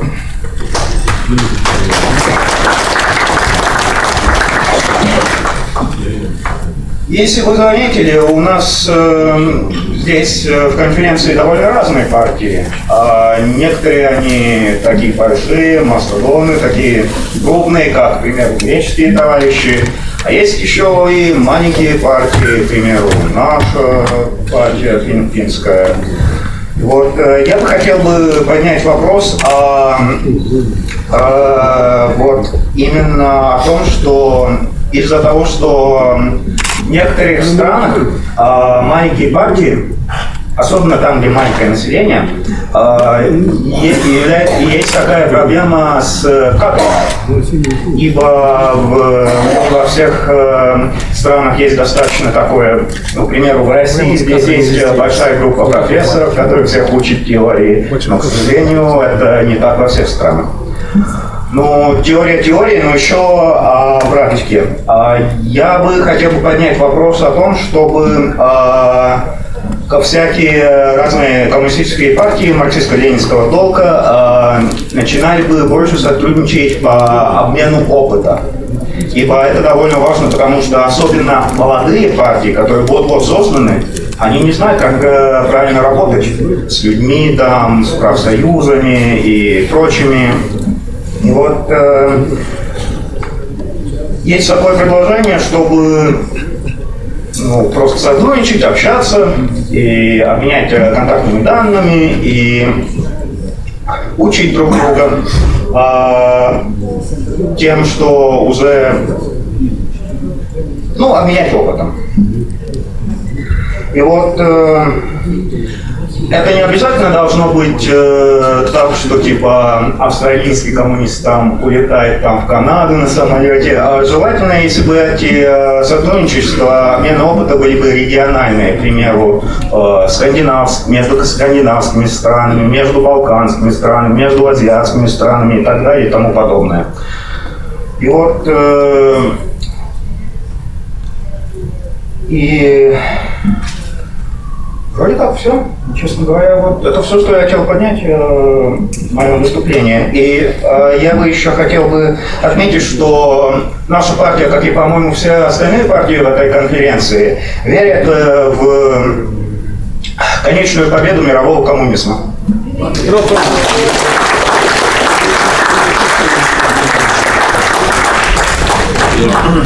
Спасибо. Слово представляется товарищу Шевцову, Компартия Таджикистана. Подготовиться товарищу Турула. Спасибо. Уважаемые товарищи, мы все с вами слушали много, друг друга интенсивно работали. И за то, что вот такие условия создали в этих э, скудных условиях, когда нет денег для того, чтобы обслужить персонал, собрать и там распространять листовки, там манифестации какую-то делать перед памятником. Но скажем спасибо э, э, э, руководству КРП за также Тюркину и его товарищей за, за такое организованное, очень солидные наши конференции международные. Я не хотел, я не хотел выступать, но вопрос о советах сложнейший вопрос. Теперь вернемся к истории этого вопроса.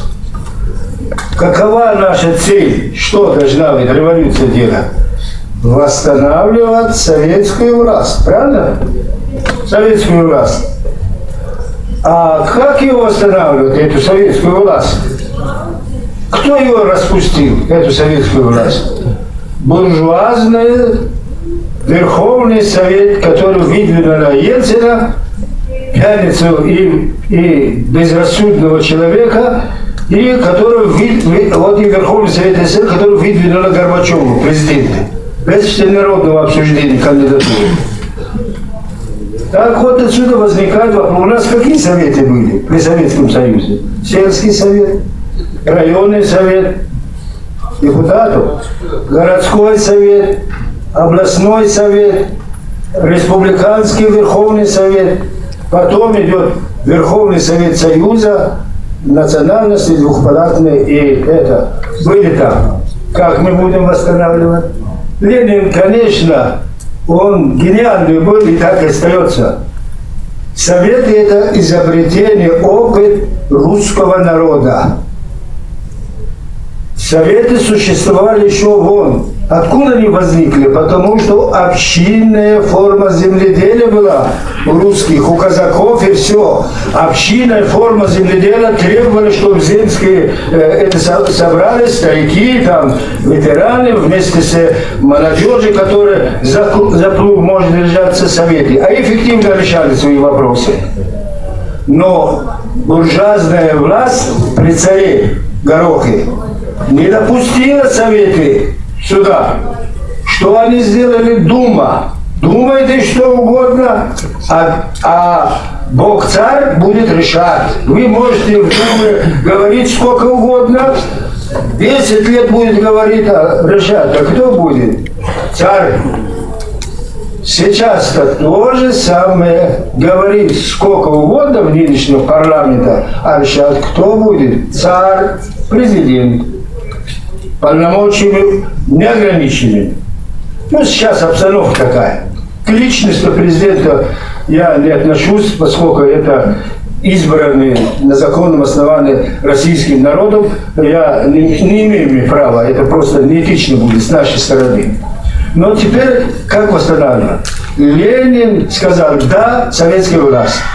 Как он создал советскую власть? Мы с вами помним. Совет рабочих и солдатских депутатов. Солдаты 90% были крестьяне, уставшиеся от войны, рабочие, уставшиеся от эксплуатации, голодные рабочие. Вот они избрали делегатов, образовался Верховный Совет Законов. После распуска Дума, матрос Железняк, господа, ваше время истекло, гуляйте на свежем воздухе побольше. И поэтому мы как будем восстанавливать? Какая армия нас защитит, если эта армия нас предала тогда, разбомбила Верховный Совет? Что, Пашку э, Мерседес с того света будем возвращать, чтобы он э, извинился и расстреливал этот парламент? Нет, нету этой. Значит, возникнет, есть вопрос, какой э, Верховный Совет восстанавливает? Российский? Невозможно его восстанавливать, там большинство были. Ну, советский, там остался только Сажи Манатова, поставил действующий президиум Верховного Совета если начала. Так вот, откуда, воз, э, воз, э, э, возно, э, откуда возможно восстановление власти Советов снизу или вверх, большой вопрос, на который мы сегодня не ответим. Мы должны к этому вопросу, Виктор Аркадьевич, вернуться в нужное время, чтобы мы обсудили досконально. Советы трудовых коллективов. Были они? Были. Советы трудовых коллективов. Я в 27 лет возглавлял областную комиссию по выборам Верховного Совета СССР. Совет национальности, Совет Союза. Я 20 член, молодой член партии. И знаем, что такое это выборы.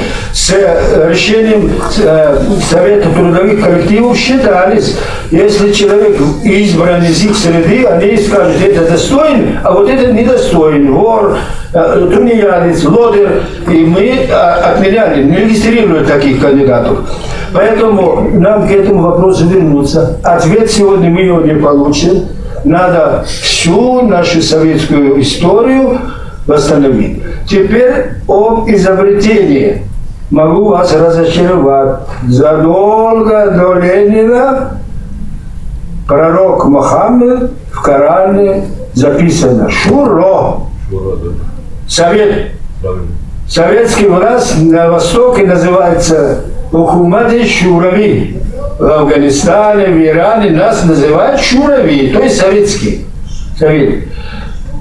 Халиф не имеет права принимать единоличные решения без консультации с членом Совета. Это в Коран требует. Вы сначала консультируйся с Советом, их будет сколько человек, 10, 12 или сколько, и потом принимай решение согласно шариату.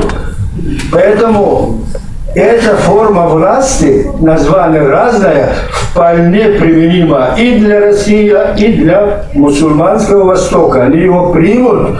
Товарищ Багдаш может подтвердить, что там среди народа, это народ длинной, э, э, долгой исторической э, культурой. Поэтому вернемся к этому вопросу отдельно Специалисты наши должны заниматься этим вопросом, научные деятели, те, которые практический опыт имеют они, и вернемся и решим окончательно, как будем делать. Революционная ситуация создается, у нас не солдатов, на, э, уставших от войны нету, и нету рабочих, которые могли бы против этой буржуазной власти, вооруженные до зубов, с этими, как его, булыжниками. С булыжниками против автомата пойдешь, да они скосят тысячи були, людей, которые с булыжниками ходят. Это образ, очень хороший образ. Если ничего нет, вот возьмешь булыжник. Там даже тропа, художник очень хороший. И вся эта тропа, эти большие булыжники скопаны, их уже на кого-то кинули, понимаете? Поэтому давайте вернемся, Виктор Аркадьевич. Всё, У меня все. Спасибо. Спасибо. Значит, э, уважаемые товарищи, когда мы говорили о общих формах работы, да, сейчас время, подождите.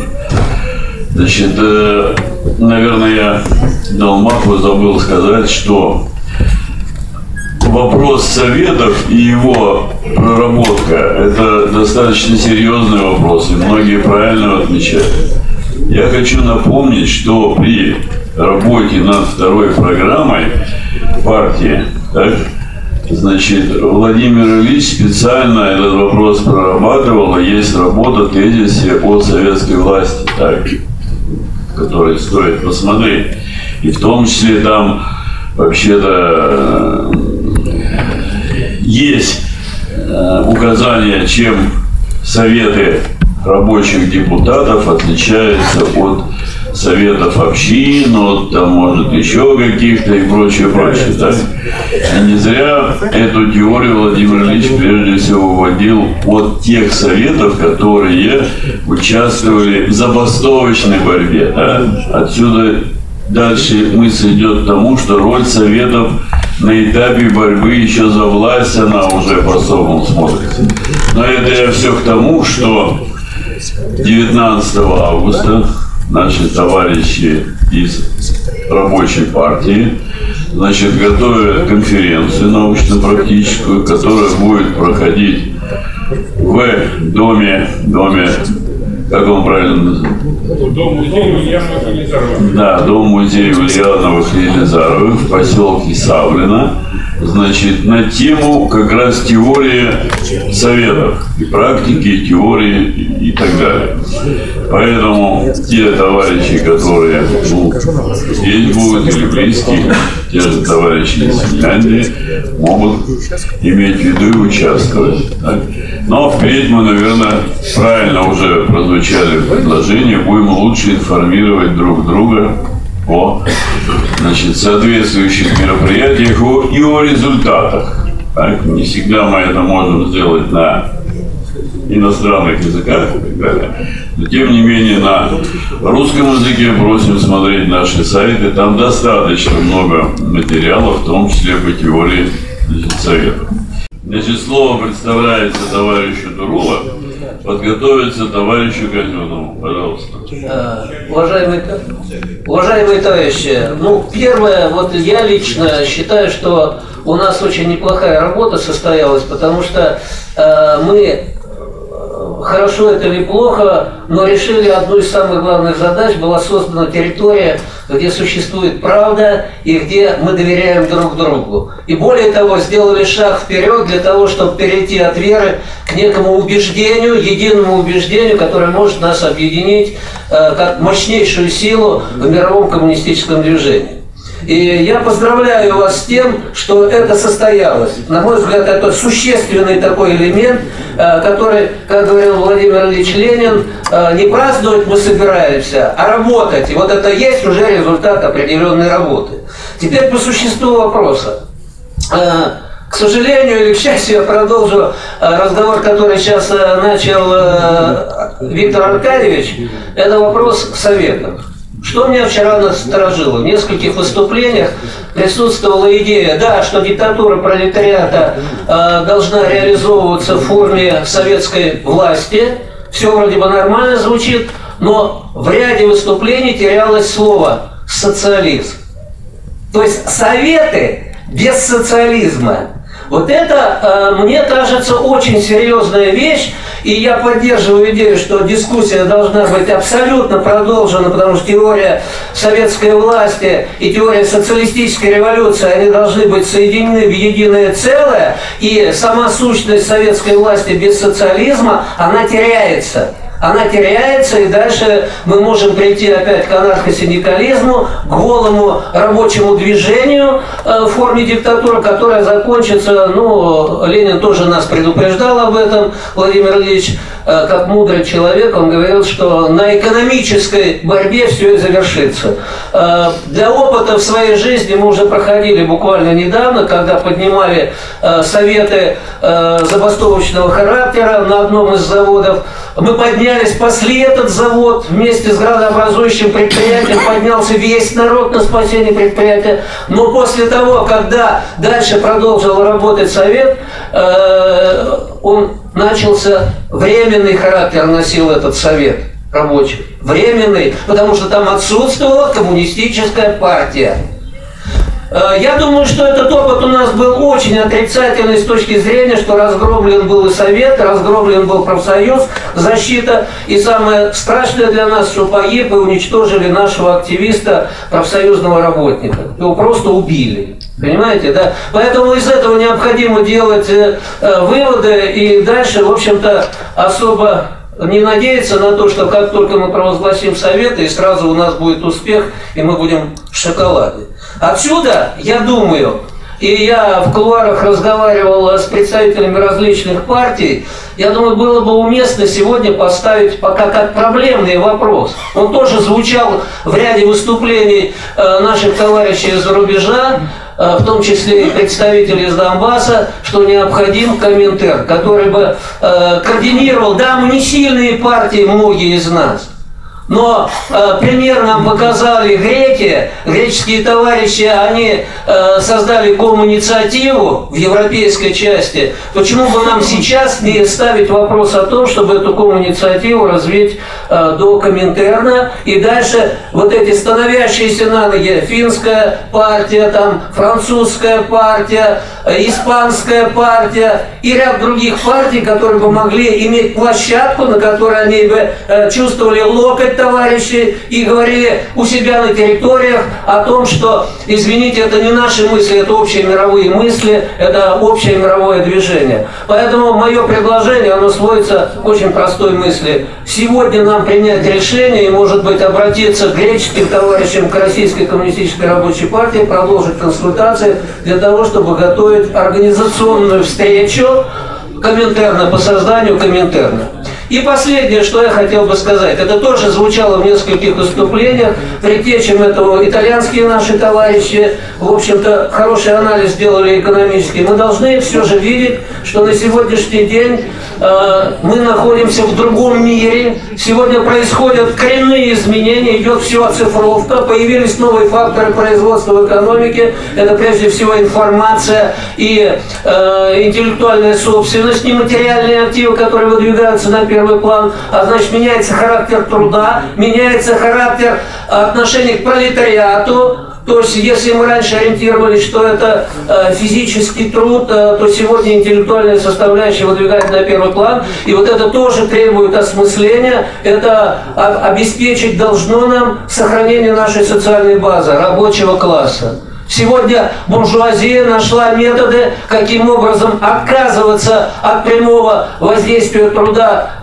и э, соединения его со средствами производства. Сегодня э, буржуазия, переходя на аутсорсинг, она вводит новые методы и механизмы, когда используется труд рабочих как аутсорсинг, как услуга при этом нанимается как осуществление услуги. И над этим тоже предстоит нам серьезно подумать, потому что э, в данном отношении характер труда меняется, внутреннее содержание рабочего класса тоже меняется, хочет он того или нет. Да, производили будут производить, но в данном отношении очень много физического труда заменяется автоматами, машинами, роботами, и сегодня выдвигается уже на первый план, э, какова оснащенность производственных предприятий вот этими автоматами, замещающими физический труд. И э, не согласиться, я, я как раз закончил, да, я не согласиться с тем, что на сегодняшний день буржуазия добилась оцифровки всей жизнедеятельности всего практически населения, мы не можем, это факт. а следовательно вопрос тотального контроля и управления социальными массами, он реален, и в данном отношении с этим тоже необходимо считаться. Как этому противостоять? Я пока тоже не знаю ответа, хотя есть мысли, и это должна эту проблему решить как раз наша э, организация, которую мы можем назвать Коминтерн, которая обобщит вот эти все э, тенденции э, развития и разовьет марксизм-ленинизм, не реформируя его, не ревизионируя его, не входя в оппортунистические состояния, а делая то, что, о чем говорил Ленин, а он говорил, что это все же наука марксизм. Спасибо. А значит, он должен развиваться. Фронт-фронт, вместе мы все. Так, как он слово предоставляется Казеннов Александр Сергеевич, рабочая партия. Это идет у нас четвертый круг, да, прошу заметить.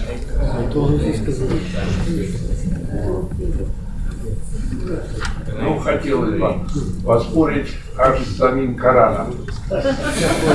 Советы, они древнее и Корана даже. Да, Если да, вы возьмете точно. документы рабовладельцев Греции или Древнего Рима, там у них тоже советы, сенаты, буле и так далее. Но дело не в слове. Как слово советы, да, оно используется всеми народами, у кого была земледельческая собственность и так далее. А дело в понятии Советы – это власть, формируемая рабочим классом на предприятиях и от предприятий. Совет города – это орган, опирающийся не на территории, а на трудовые коллективы, на советы, если хотите, трудовых коллективов, на комитеты рабочих в 2017 году. Поэтому э, Верховный Совет СССР, он не соответствовал своему понятию. В клетке лев, а звали тигр. Не были они советами по понятию, по сути, по смыслу. Поэтому ее и отдали без боя, эту советскую власть. Она не пообещала даже снижение цен в трудные времена народу. Поэтому народ, все широкие массы народа, конечно, всерьез такую власть не поддержали и, в общем-то, правильно сделали, как показала история. Но я думаю, что история Советов в нашей стране нам четко показывает, что сначала СССР образовался ведь в форме РСФСР. Российская, Советская, Советская Федерация, Федеративная Республика, состоящая из четырех фактически республик. Федерация из четырех республик самостоятельно. Потом к ней присоединились другие республики. В Советском Союзе было 16 уже республик. И, в общем-то, после войны как будто никто не мешал значит, в Восточной Европе организовывать советские республики. Но почему-то этого сделано не было. Не знаю почему. Видимо, после войны Советский Союз был ослаблен и было не до этого. И именно это, я уверен, предопределило значит, несоответствие понятию в Советском Союзе и отсутствие советских республик там. Поэтому если строить советы дальше, их и надо, или советские республики дальше, их и надо э, создавать как со, значит, союзы советских республик, руководимых пролетариатом всех стран. Значит, сегодня в одной республике, завтра уже в трех республиках, послезавтра, ну, в следующем году там или в десятилетии в других республиках, и в конце концов, я думаю, что при хорошей, надежной организации под руководством коммунистической партии крепкой, этот процесс может произойти гладко, хотя вообще классовая борьба гладко нигде не проходит. Но я думаю, что у нас есть уверенность, что рабочий класс всех стран сегодня грамотный, опытный, он прекрасно знает и опыт значит, советского народа, и опыт э, Верховного Совета СССР, других организаций. Я думаю, что он сумеет разобраться с проблемами и решить на уровне 21 века. Спасибо. Слово представляется товарищу Падову Александру Сергеевичу, РКРП. И подготовиться последнему записанному у нас товарищу Школьникову. Здравствуйте, уважаемые товарищи. Очень рад, что у меня тоже есть возможность выступить. И прежде всего рад, что мы собрались на эту конференцию. Это очень редкое событие, очень э, редкий случай. Собрались все те, у кого лимитной революции не исчерпан. Это дорогого стоит, и я надеюсь, что мы собрались не в последний раз, и что эта практика будет продолжена. И хотел бы поделиться своими впечатлениями от э, услышанного не с позиции теоретика или идеолога, а с позиции, скажем так, обычного коммуниста, который смотрит, слушает, наблюдает. Прежде всего, товарищи, бросается в глаза очень разный уровень выступающих партий, выступающих партий. Э, есть товарищи, э, по выступлениям которых чувствуется, что их партия имеет стратегию, тактику, выверенные цели и задачи. Есть э, партии, представители которых не уверены в себе, чувствуется растерянность, чувствуется поиск. Поиск это тоже хорошо, но плохо, что он не привел до сих пор наших товарищей к результату. И в итоге видно, что э, у товарищей не просто разный уровень, а разный уровень работы. Я заметил, что в некоторых выступлениях очень большое внимание уделялось вопросам истории, вопросам прошлого, вопросам установления советской власти. Это полезно, это нужно, в этом важно разбираться. Но я думаю, многие из собравшихся хотели бы больше знать о настоящем – о той текущей работе, которую ведет та или иная партия в своей стране. И у меня лично сложилось впечатление, надеюсь, никто не обидится, что э, больше всего о прошлом говорили именно те, кому нечего сказать о настоящем, у кого нет работы в своей стране текущей в эти дни. Это плохо, это печально. И э, вот эти выступления также показали со всей ясностью еще одну вещь. Оказывается, недостаточно выступать просто против оппортунизма, против современного респектабельного оппортунизма, а, какой представляет КПРФ и другие подобные ей партии. Недостаточно просто выступать против этого оппортунизма, чтобы быть коммунистом. Для этого еще необходимо предлагать коммунистическую стратегию борьбы, стратегию работы среди пролетариата. А среди э, выступающих, как мне показалось, э, были, было немало элементов разброда. То есть, да, мы понимаем, что революция нужна, мы понимаем, что лимит на революции не исчерпан, но когда мы переходим от негатива к конструктивной программе, начинаются шатания определенные. Мы видели эти шатания, например, в вопросе о Китае, о том, является ли Китай социалистическим. Для нас этот вопрос достаточно очевиден, для некоторых других товарищей нет. Мы видели эти э, шатания в вопросе о роли России в современном мире.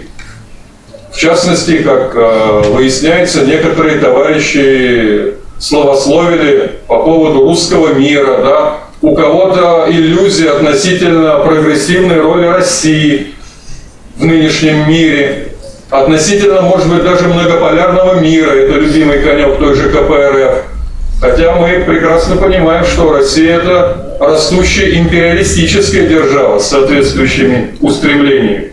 Есть и много других точек для дискуссии, скажем так, начиная от участия в буржуазных правительствах и кончая наличием или отсутствием стадий в борьбе за э, совершение социалистической революции. И все это показывает, что э, мы должны продолжать дискуссию, должны продолжать обмен мнениями, и в том числе не стесняться даже критиковать друг друга, потому что в споре рождается истина. И вот те критические замечания, которые высказала, например, Томилова Иосифовна Еброва, они, на мой взгляд, очень ценны, и к ним нужно прислушаться. И также к тем замечаниям, которые высказал Илья Львович Фергеров и другие товарищи. Ну и в завершение хотел бы сказать, что, на мой взгляд, рано ставить вопрос о воссоздании Коминтерна.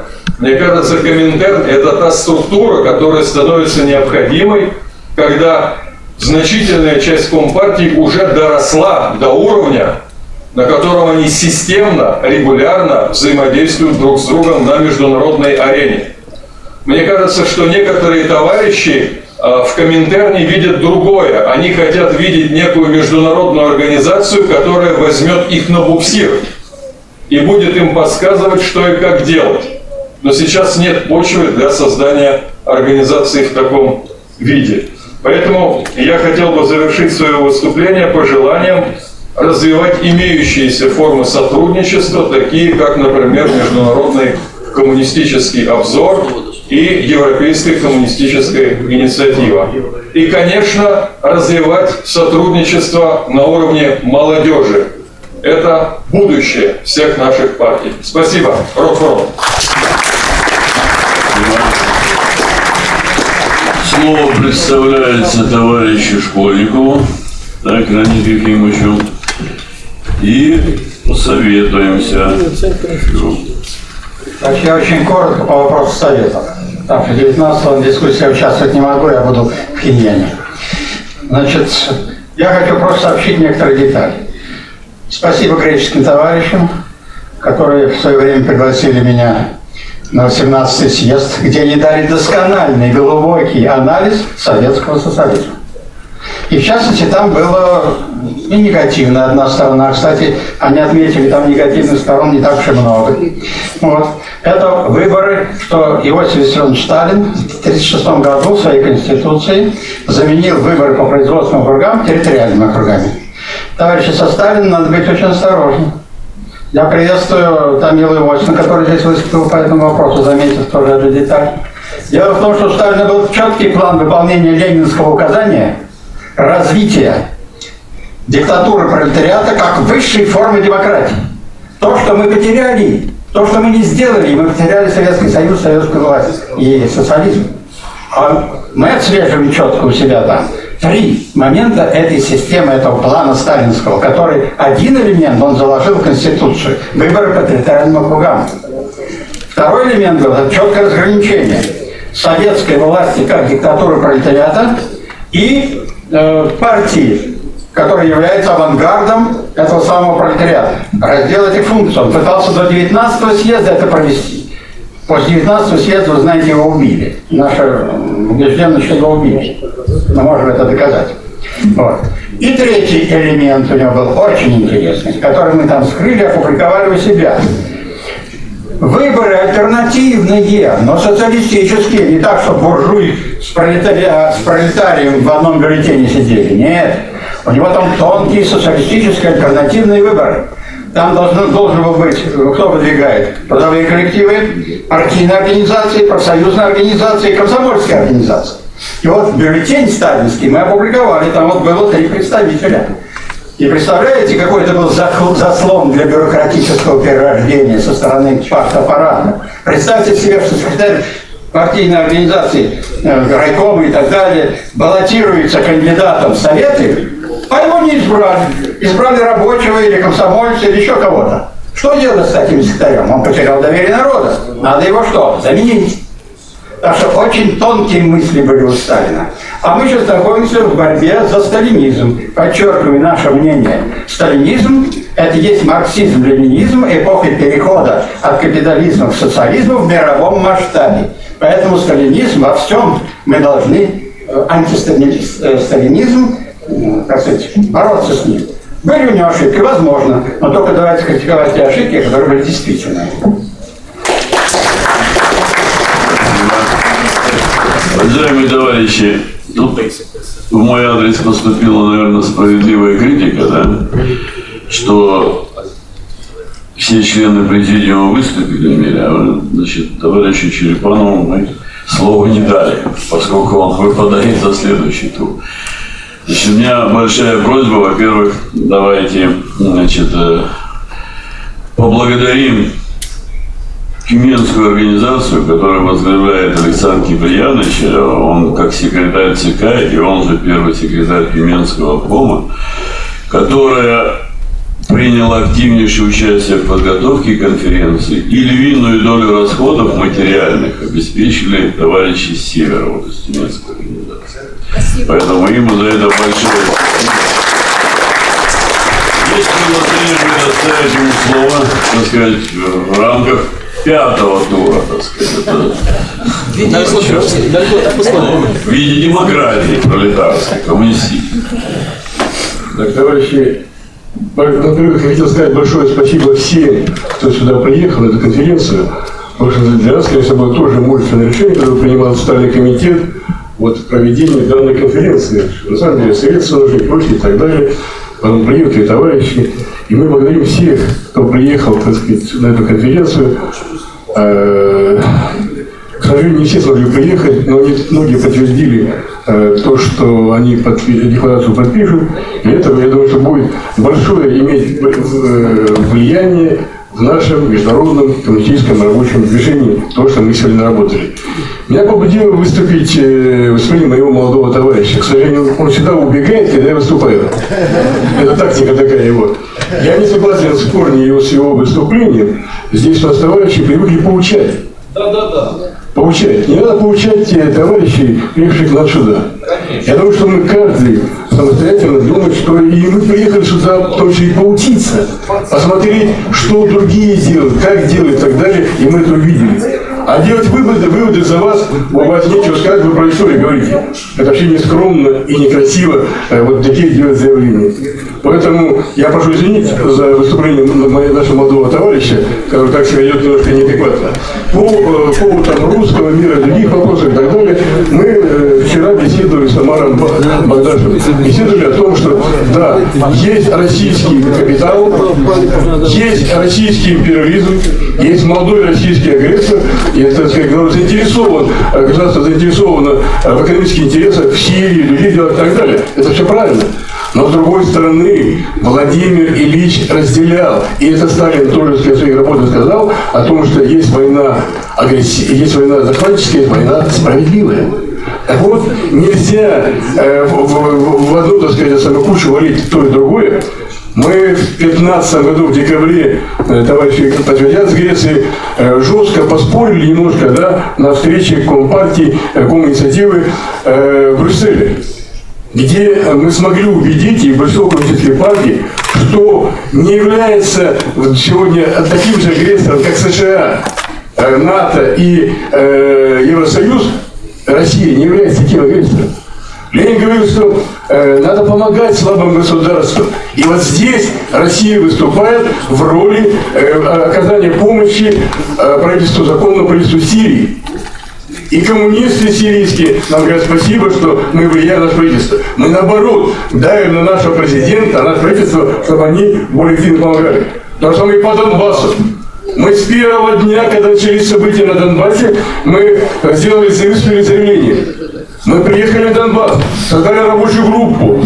Мы 10 раз ездили в Донбасс. То есть в общей сложности я побывал на Донбассе сегодня уже более двух месяцев. За, за, за эти три года. То есть это говорит о том, что мы вот именно проводим там ту работу, которую обязаны проводить. И мы заставляем президента оказать помощь.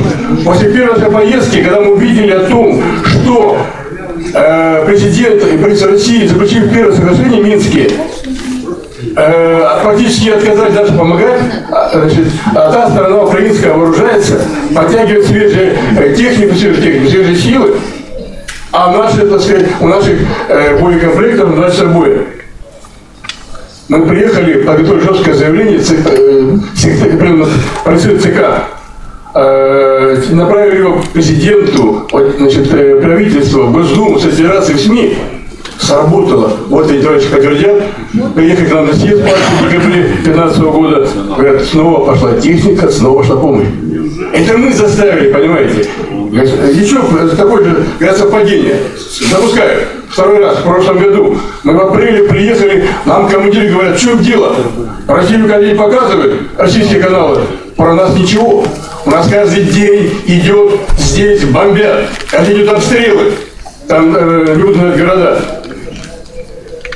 Тишина. Мы приезжаем, подготовили заявление, Валерий Николаевич Турова, подготовили, э, в госпитале, написал за- заявление. Мы подработали, Закачество, мы все остальные секретаря подработали. 18 мая мы направили его президенту. 21 мая президент по телевидению показывает, звонит э, президенту Франции, президенту Украины, канцлеру Германии. Сработало, сработало. И пошла информация по этому делу. Вот это на- маленький вклад нашей партии. Поэтому мы говорим о том, что мы должны отделять мух от котлет. Вот это, скажем, самое главное, которое мы должны делать. мы не защищаем нашего президента и правительства. Мы ругаем больше всех его, и поэтому что партия сегодня ну, э, такая, которая не любит президента.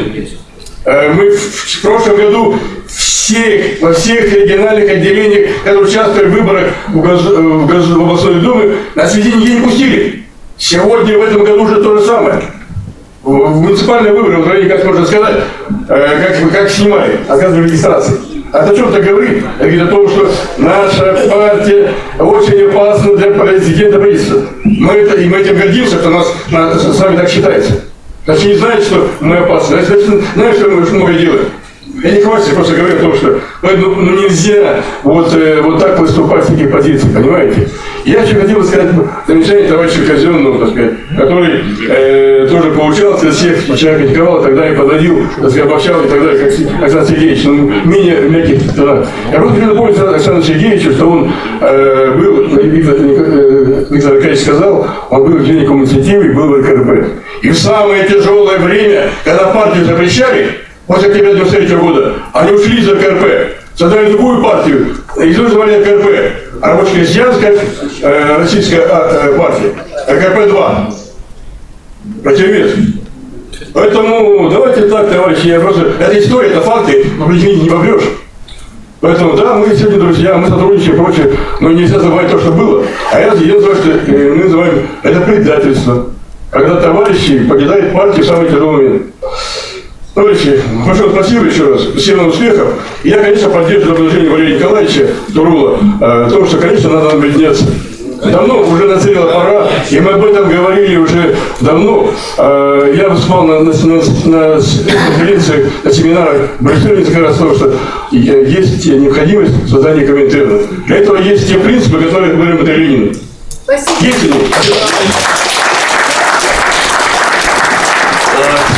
они? Чем ближе к концу, тем больше чувств. Так и должно быть.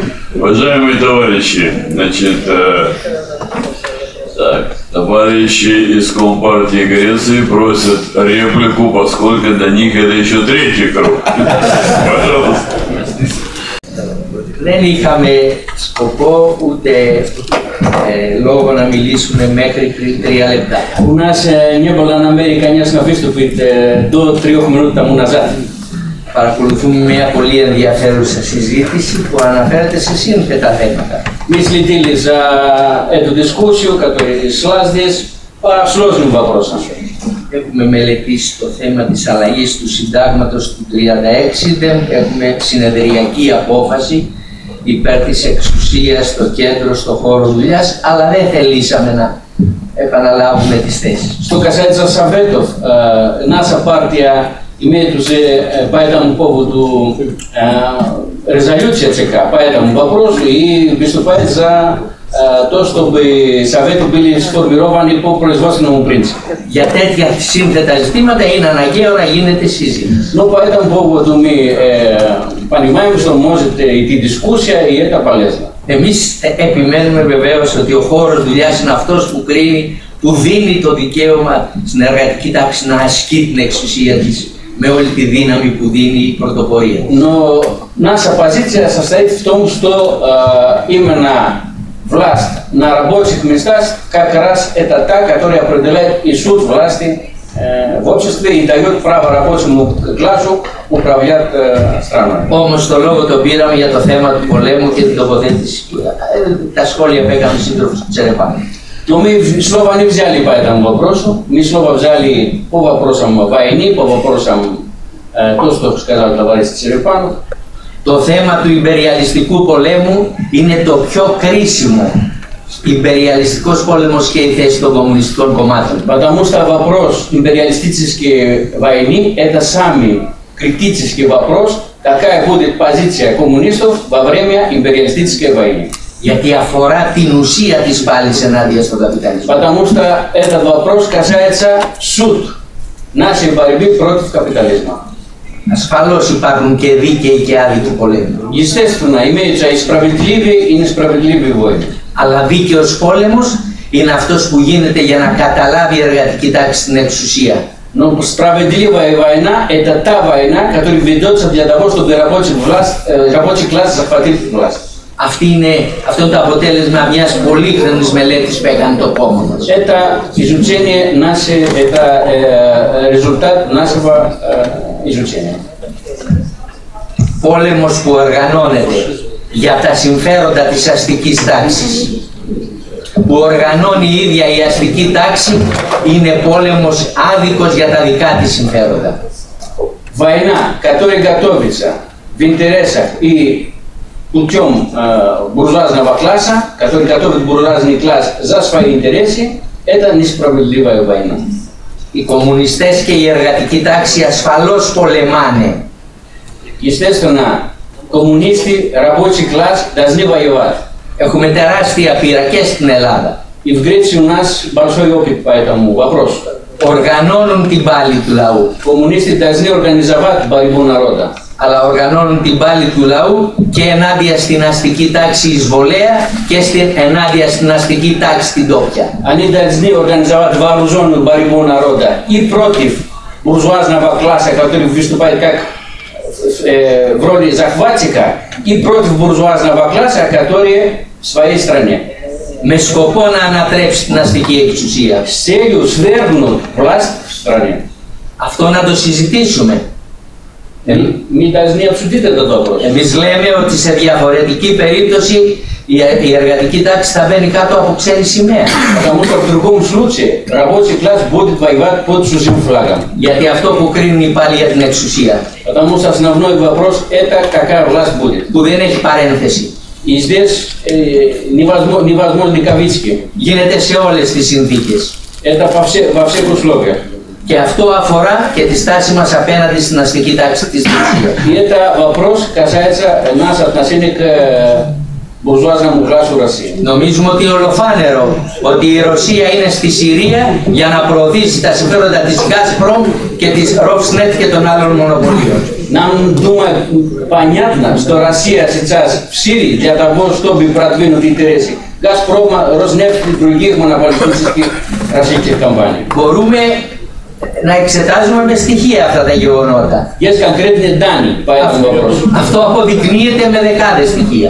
Есть много-много данных по этому вопросу. Επομένως δεν μπορούμε να ταχτούμε με την αστική τάξη της Ρωσίας. Следовательно, мы не будем выступать на стороне российского буржуазного класса. Και υπάρχει διαφωνία. И по этому вопросу имеется разногласие. Να συνεχίσουμε να τη συζητάμε. Мы не против продолжения дискуссии. Δεν έχουμε καμία εμπιστοσύνη ούτε στην αστική τάξη ούτε στους πολιτικούς εκπροσώπους της αστικής τάξης στη Ρωσία. Следовательно, мы не верим, ни, у нас никакого доверия буржуазному классу, ни нашей стране, ни российской. Κριτήριο της τάσης είναι τα κέρδη των μονοπωλίων. Потому что для буржуазного класса единственный критерий – это обеспечение их прибыли. Και η αναβάθμιση της γεωστρατηγικής της θέσης των γεωστρατηγικών И συμφερόντων. повышение их геополитической роли, геостратегической роли и обеспечение их интересов. Ευχαριστούμε και πάλι τους συντρόφους. Спасибо большое. Και η συζήτηση θα συνεχίσει.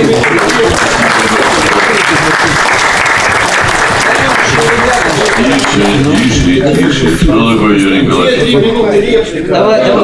Минуты, пожалуйста. Вы по второму кругу еще. Давай, давай, Юра. Первый он уже выступал. Так ладно. Второй круг. Ответ. Ну, у нас, благо мы идем с опережением расписания, поэтому все возможности высказаться. Юрий Николаевич Хохлов, Коммунистическая рабочая организация Луганская. Буду э, краток э, и хотел бы ответить э, своим товарищам из Греции. Дорогие товарищи, конечно, вам можно вот так вот сидеть, когда оно не стреляет, когда оно э, к тебе в квартиру, в дом не летит, не прилетает, сидеть вот э, буржуазия и все это чудесно, трали это хорошо. Но вы Одессу видели? Когда простых людей, вышедших, вышедших на глазах милиции, пожарных, сожгли. Просто. Это вам говорят, что их 48. Приходили к нам одесситы, говорят, там более 200 человек. Остальных поставили пропавшими без вести. На глазах у всех. То есть пришел фашизм. Не просто интернационализм, не просто за какие-то эти самые. Ведь ведение войны, оно нельзя вот брать вот классика, вот те вот э, с, э, за интересы, те за это. Ведь они настолько хитрые, настолько у них куча различных способов ведения войны. Понимаете, что брат на брата натравили. Никто не мог никогда подумать, что братские народы завоюют, но не мы ж ведь пришли под Киев. Не мы же стоим где-то под Львовым. Они стоят у меня под Луганском. И то, что они делают, фашисты, люди одураченные, одурманенные вот современными средствами воздействия на ум, на ум. Вы понимаете, как говорят, не было бы счастья, да несчастье, может, помогло. Так бы и сидели мы с этой КПУ, так бы и разлагались дальше. Но вот эти э, процессы все какие, да, э, мы коммунисты учимся, воюем, и обязательно, это наша цель и задача захватить власть. Мы же видим, что пришла не братская Россия, да, нам помогли в этом плане. Помогли, чтобы нас не вырезали полностью поголовно всех. Понимаете, да, стали, да, дали оружие, дали, дали возможность себя защищать, сформировать свою армию. Теперь другое дело, как вместе, совместно будем мы это дело использовать. Вот. И поэтому я считаю, что вот так однобоко ко всем конфликтам не- нельзя подходить. То есть штамп какой-то иметь. Каждый имеет свой подход. И в каждом случае нужно обязательно разбираться. То же самое и в Сирии происходит. Ведь это же не то, что первая империалистическая, там Первая мировая война. Там было одно э, дело, здесь совсем другие моменты. Это же уже не тот э, 14 года империализм, это уже действительно имеющий какую-то историческую свою э, изощренность. Ну, подходить вот так штампами, я считаю, нельзя. Ну и еще хотел бы в отношении товарища Матова. Э, Дорогой ты, Александр Батькович, ты подрасти еще и это самое, под- поднаберись опыта и говорить, что кого-то, да, кого-то надо, может и подтягивать надо будет.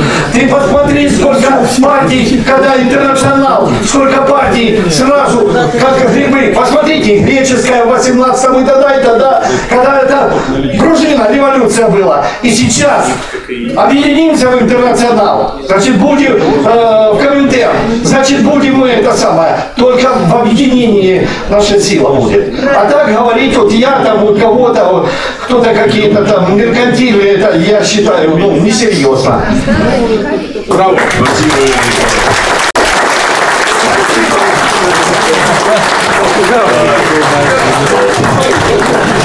Хорошо. Уважаемые товарищи, значит, греческие товарищи используют свое слово в четвертом. Наверное, нет. На этом, товарищи, Российская коммунистическая рабочая партия мне поручила. Кто поручил? Центральный, тише, вы не поручили, значит, Центральный комитет поручил. Давайте, товарищи, Грики, пожалуйста. Θέλουμε να είναι σαφέστατα αυτά που λέμε. Мы хотим, э, э, мы хотим, чтобы была ясно, ясность о το κουκουέ πρωτοστάτησε στον αγώνα κατά του φασισμού και του ναζισμού με χιλιάδες νεκρούς. Κομμουνιστическая партия Греции была во главе борьбы πρώτη φασίσμα ή νατσίσμα και за это имела тысячи погибших. Και έχασε την εξουσία γιατί αντί να τη διεκδικήσει το 1944, ευνόησε η, η πρακτική του τα συνθήματα των Εγγλέζων και παρέδωσε την εξουσία στο όνομα της ομαλής δημοκρατικής πορείας. И мы тогда потеряли власть в 1944 году, потому что значит, доверились словам англичанам, выступили за э, э, демократический, нормальный путь развития через выборы, и таким образом по- потеряли власть. Και τώρα λέμε θα πολεμήσουμε. И сейчас говорим в нынешних условиях, что будем воевать. Αλλά θα πολεμήσουμε για τα αυτοτελή συμφέροντα της εργατικής τάξης και του λαού μας. Но мы будем воевать за самостоятельные интересы рабочего класса и народных слоев. Δεν, και όχι για κανένα τμήμα της αστικής τάξης. И не будем завоевать ни за одной части буржуазного. Και για κανένα υπεριαλιστικό κέντρο. Будем ни за одну, ни за одну за один. Δεν είναι ασφαλ, η θέση μας από καναπέ. Είναι θέση δράσης, σύγκρουσης. То есть η позиция не исходит из глубокого какого-то разрабатывается в условиях борьбы, которую мы ведем. Και απαιτεί μεγάλη σύγκρουση με τον εσωτερικό εχθρό, με την αστική τάξη της Ελλάδας. И мы находимся в глубокой э, конфронтации с буржуазией, внутри страны с буржуазным классом Греции. Που μπορεί να σε πάει κατηγορούμενο για προδοσία. Который в любой момент тебя может обвинить о предательстве. Αυτή είναι η διευκρίνηση και ευχαριστούμε πολύ. Это мы хотели уточнить. Можно вопрос? Нет, спасибо большое. Вопрос в перерыве. Разрешите, значит, подводя итоги, я постараюсь все-таки, постараюсь все-таки подвести некоторую черту, да, значит, э, выразить э, понимание организаторов э, результатами нашей работы и некоторыми, значит, продолжениями, которые из этого всего будут следовать. Так? Если после этого возникнет необходимость и кто-то будет настаивать еще что-то высказать, хотя никто ничего нового тут, в общем-то, уже не высказывает, так, то мы можем еще договориться, еще продолжить трение или как. Первое. Уважаемые товарищи, вот исходя из того, что мы услышали и обменялись мнениями и поспорили, да, я думаю, что наметились те направления, по которому нужно продолжать теоретическую работу, в том числе споры, так, в том числе совместную проработку каких-то направлений и так далее. Значит, вот как первый секретарь Коммунистической рабочей партии, организации этой конференции, я себе записал, что мы, значит, э, в продолжении своей теоретической работы, в дополнение тому докладу, о котором мы, э, значит, рассказывали, сделали и прочее, прочее, в продолжение той декларации, которую мы вместе с вами ведем в направлении значит, принятия. Так, себе на ум отложили несколько вопросов, которые мы значит, э, должны продолжить, показать, рассказать, прочее, теоретически. Первое, вот это то, что относится к наиболее горячему, что ли, наиболее актуальному вопросу. Это относительно вопросов войны, относительно сегодняшних событий на Украине, в Сирии, да и в других регионах мира. На Донбассе и Украине. Украина, Украина, Донбасс.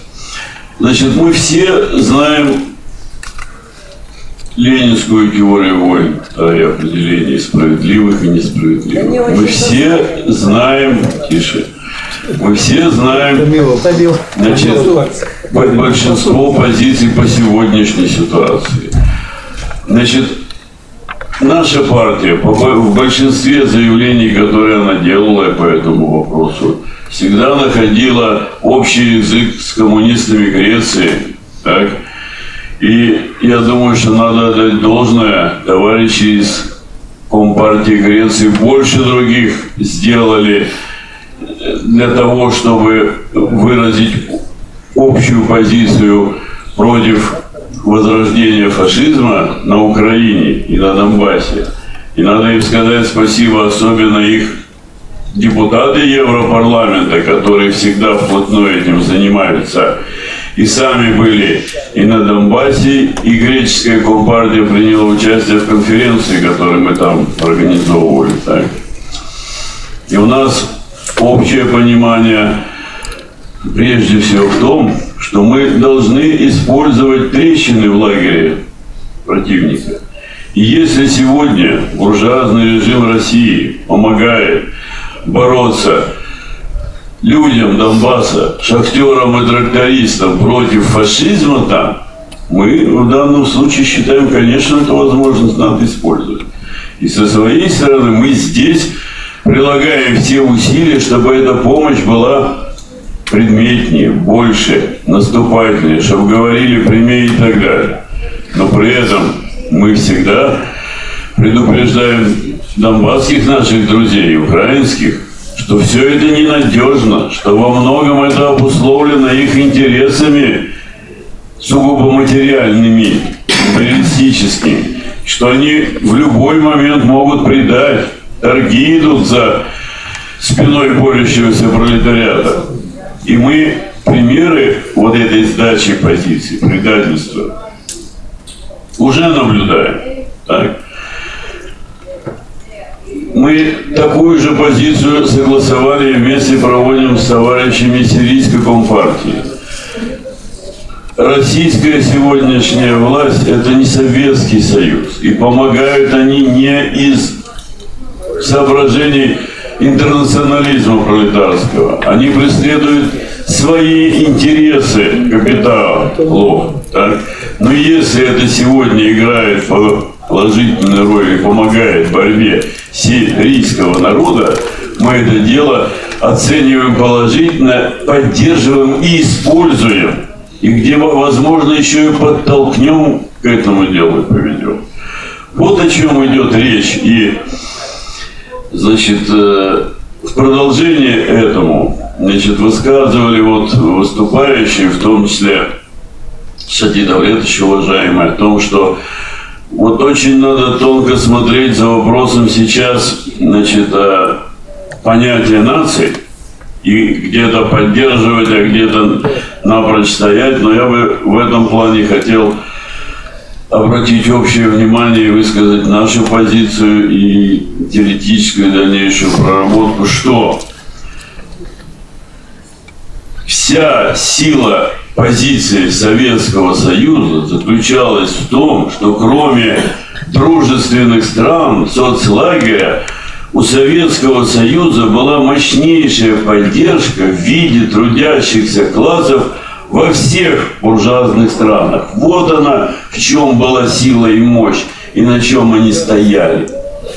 Сегодня та же буржуазная российская власть, хотя она в глазах трудящихся других стран часто видится как положительно, и кое-кто ее воспринимает как продолжателя дела Советского Союза.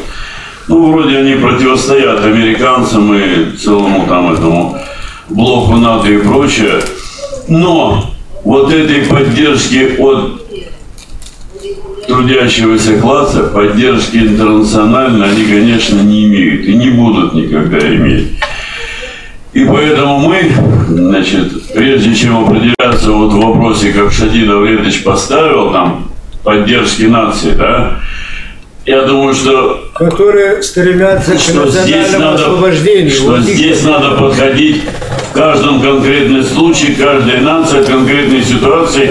Но вот что мы непременно должны делать, это мы все вместе должны больше и больше и больше проводить линию пролетарского интернационализма прежде всего, да? Значит, э, то, чего Россия на сегодняшнее не имеет в отношению значит, к Советскому Союзу.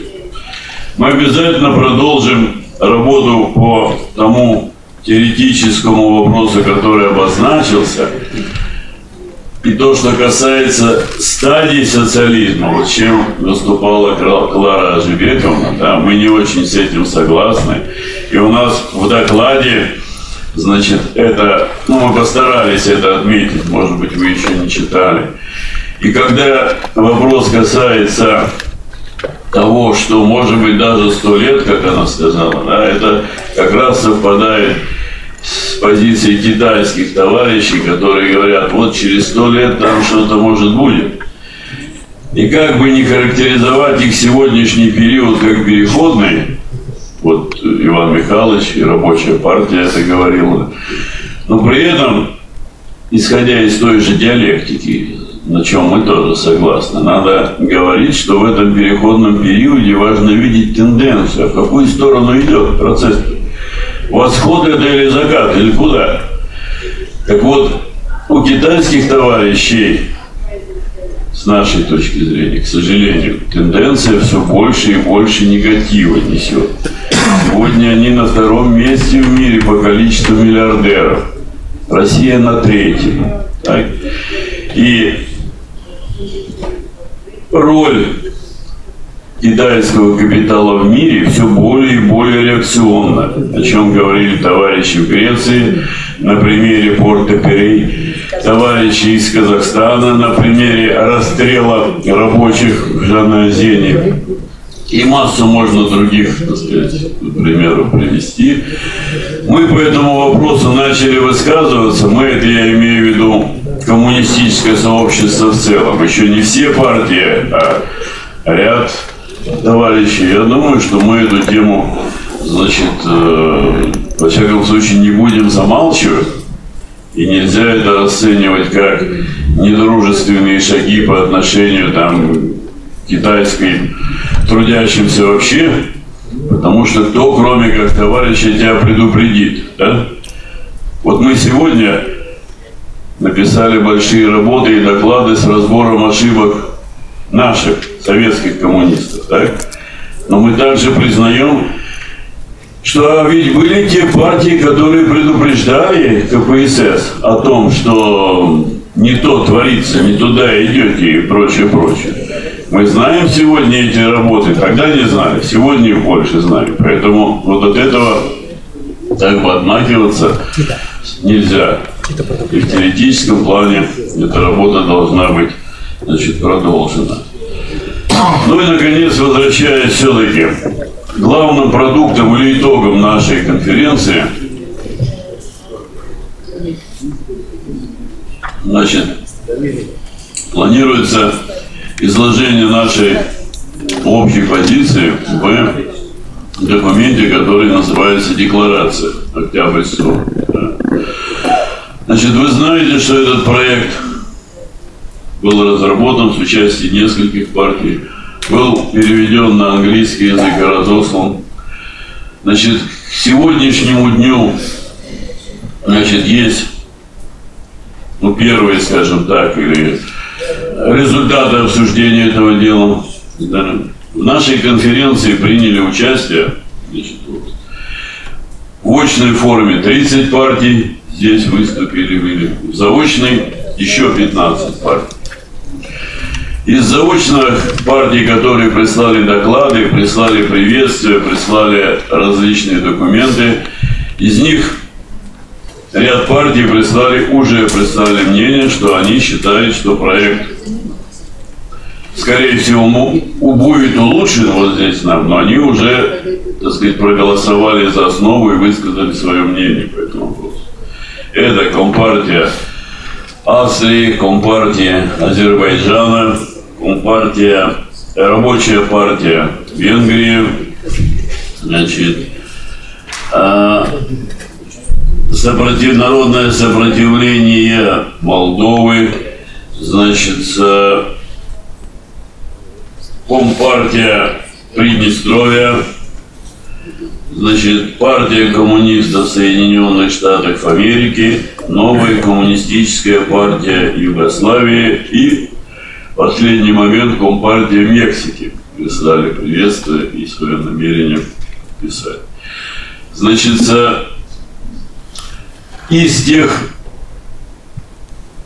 из тех предложений в декларацию, которые поступили здесь, вот уже в письменном виде, да, как я называл, Значит, два предложения редакционная комиссия посмотрела и высказала свое мнение, что они вполне годятся для того, чтобы поставить в, в текст декларации, даже значит, нашли с авторами вместе место. Значит, может быть, до конца не отработали редакцию, но значит, суть следующая. В том месте, где перечисляются первые шаги советской власти, поставить также значит, реализацию требования 8-часового рабочего дня, который несет большую смысловую нагрузку. Раз. И второе предложение, которое значит, относится к тому, что Великий Октябрь дал огромный толчок к подъему национально-освободительной борьбы, распаду колониальной системы всей, и это тоже отметим. Мы этот документ, я так полагаю, вы так замысливали, когда готовили конференцию, значит, ведь не только для себя готовят. Мы рассматриваем этот документ как теоретическую работу и как борьбу с теми потоками оппортунизма и ревизионизма, которые, к сожалению, сегодня присутствуют в коммунистическом движении в широком.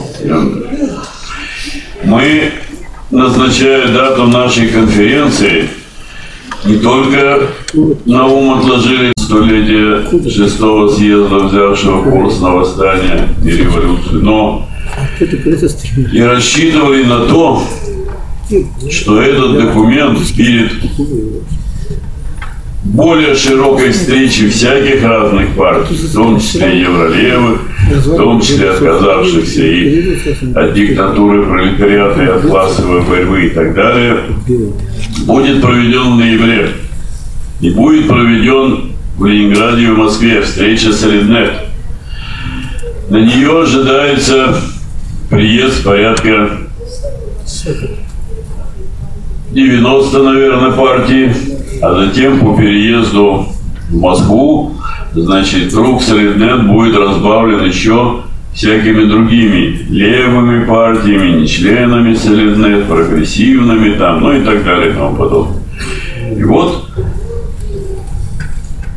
на этой встрече, на этом форуме, значит, те партии, которые придерживаются, значит, э, марксистских позиций, те, кто присутствует в этом зале, а у нас сейчас порядка 20 партий являются членами списка Солиднет, это и здесь присутствующие. А если брать с заочными партиями, то это 31 партия, участвующая в этой конференции, является членами списка Солиднет. Наверное, мы все вместе будем на том форуме и своей практической работе, значит, опираться на нашу декларацию, чтобы проводить соответствующую линию ну,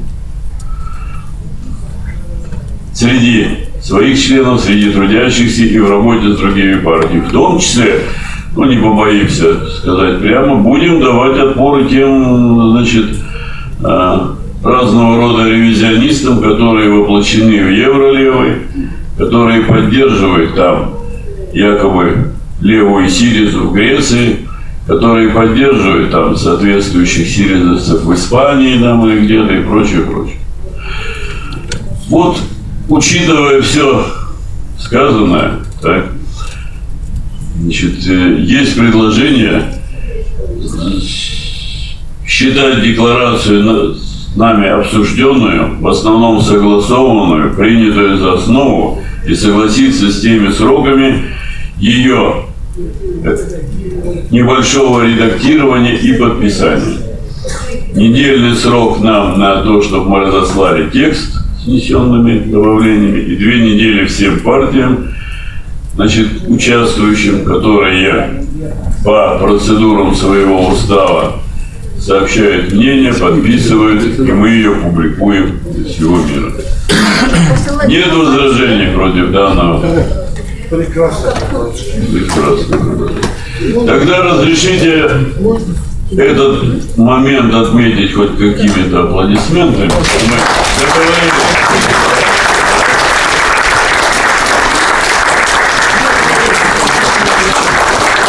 Ну, какие продолжительные Хорошо. Переходящий в аванс. То, что у нас, то, что у нас есть моменты спора, может быть, даже острова. Это очень хорошо. Владимир Ильич говорил, мы приезжаем на съезд для того, чтобы подраться с помощью билетиков. Он имел в виду мандаты. Мы для этого и приезжаем. Я, говорит, очень люблю сердитых людей в этом плане. Раз сердится, значит, у него что-то есть за душой и в голове. Значит, он искренне болеет за дело и готов за него драться. А дальше будем работать и договариваться. Уважаемые товарищи, на всем основная повестка дня у нас исчерпана. Так, есть предложение закончить нашу конференцию исполнением интернационала. Нет возражений?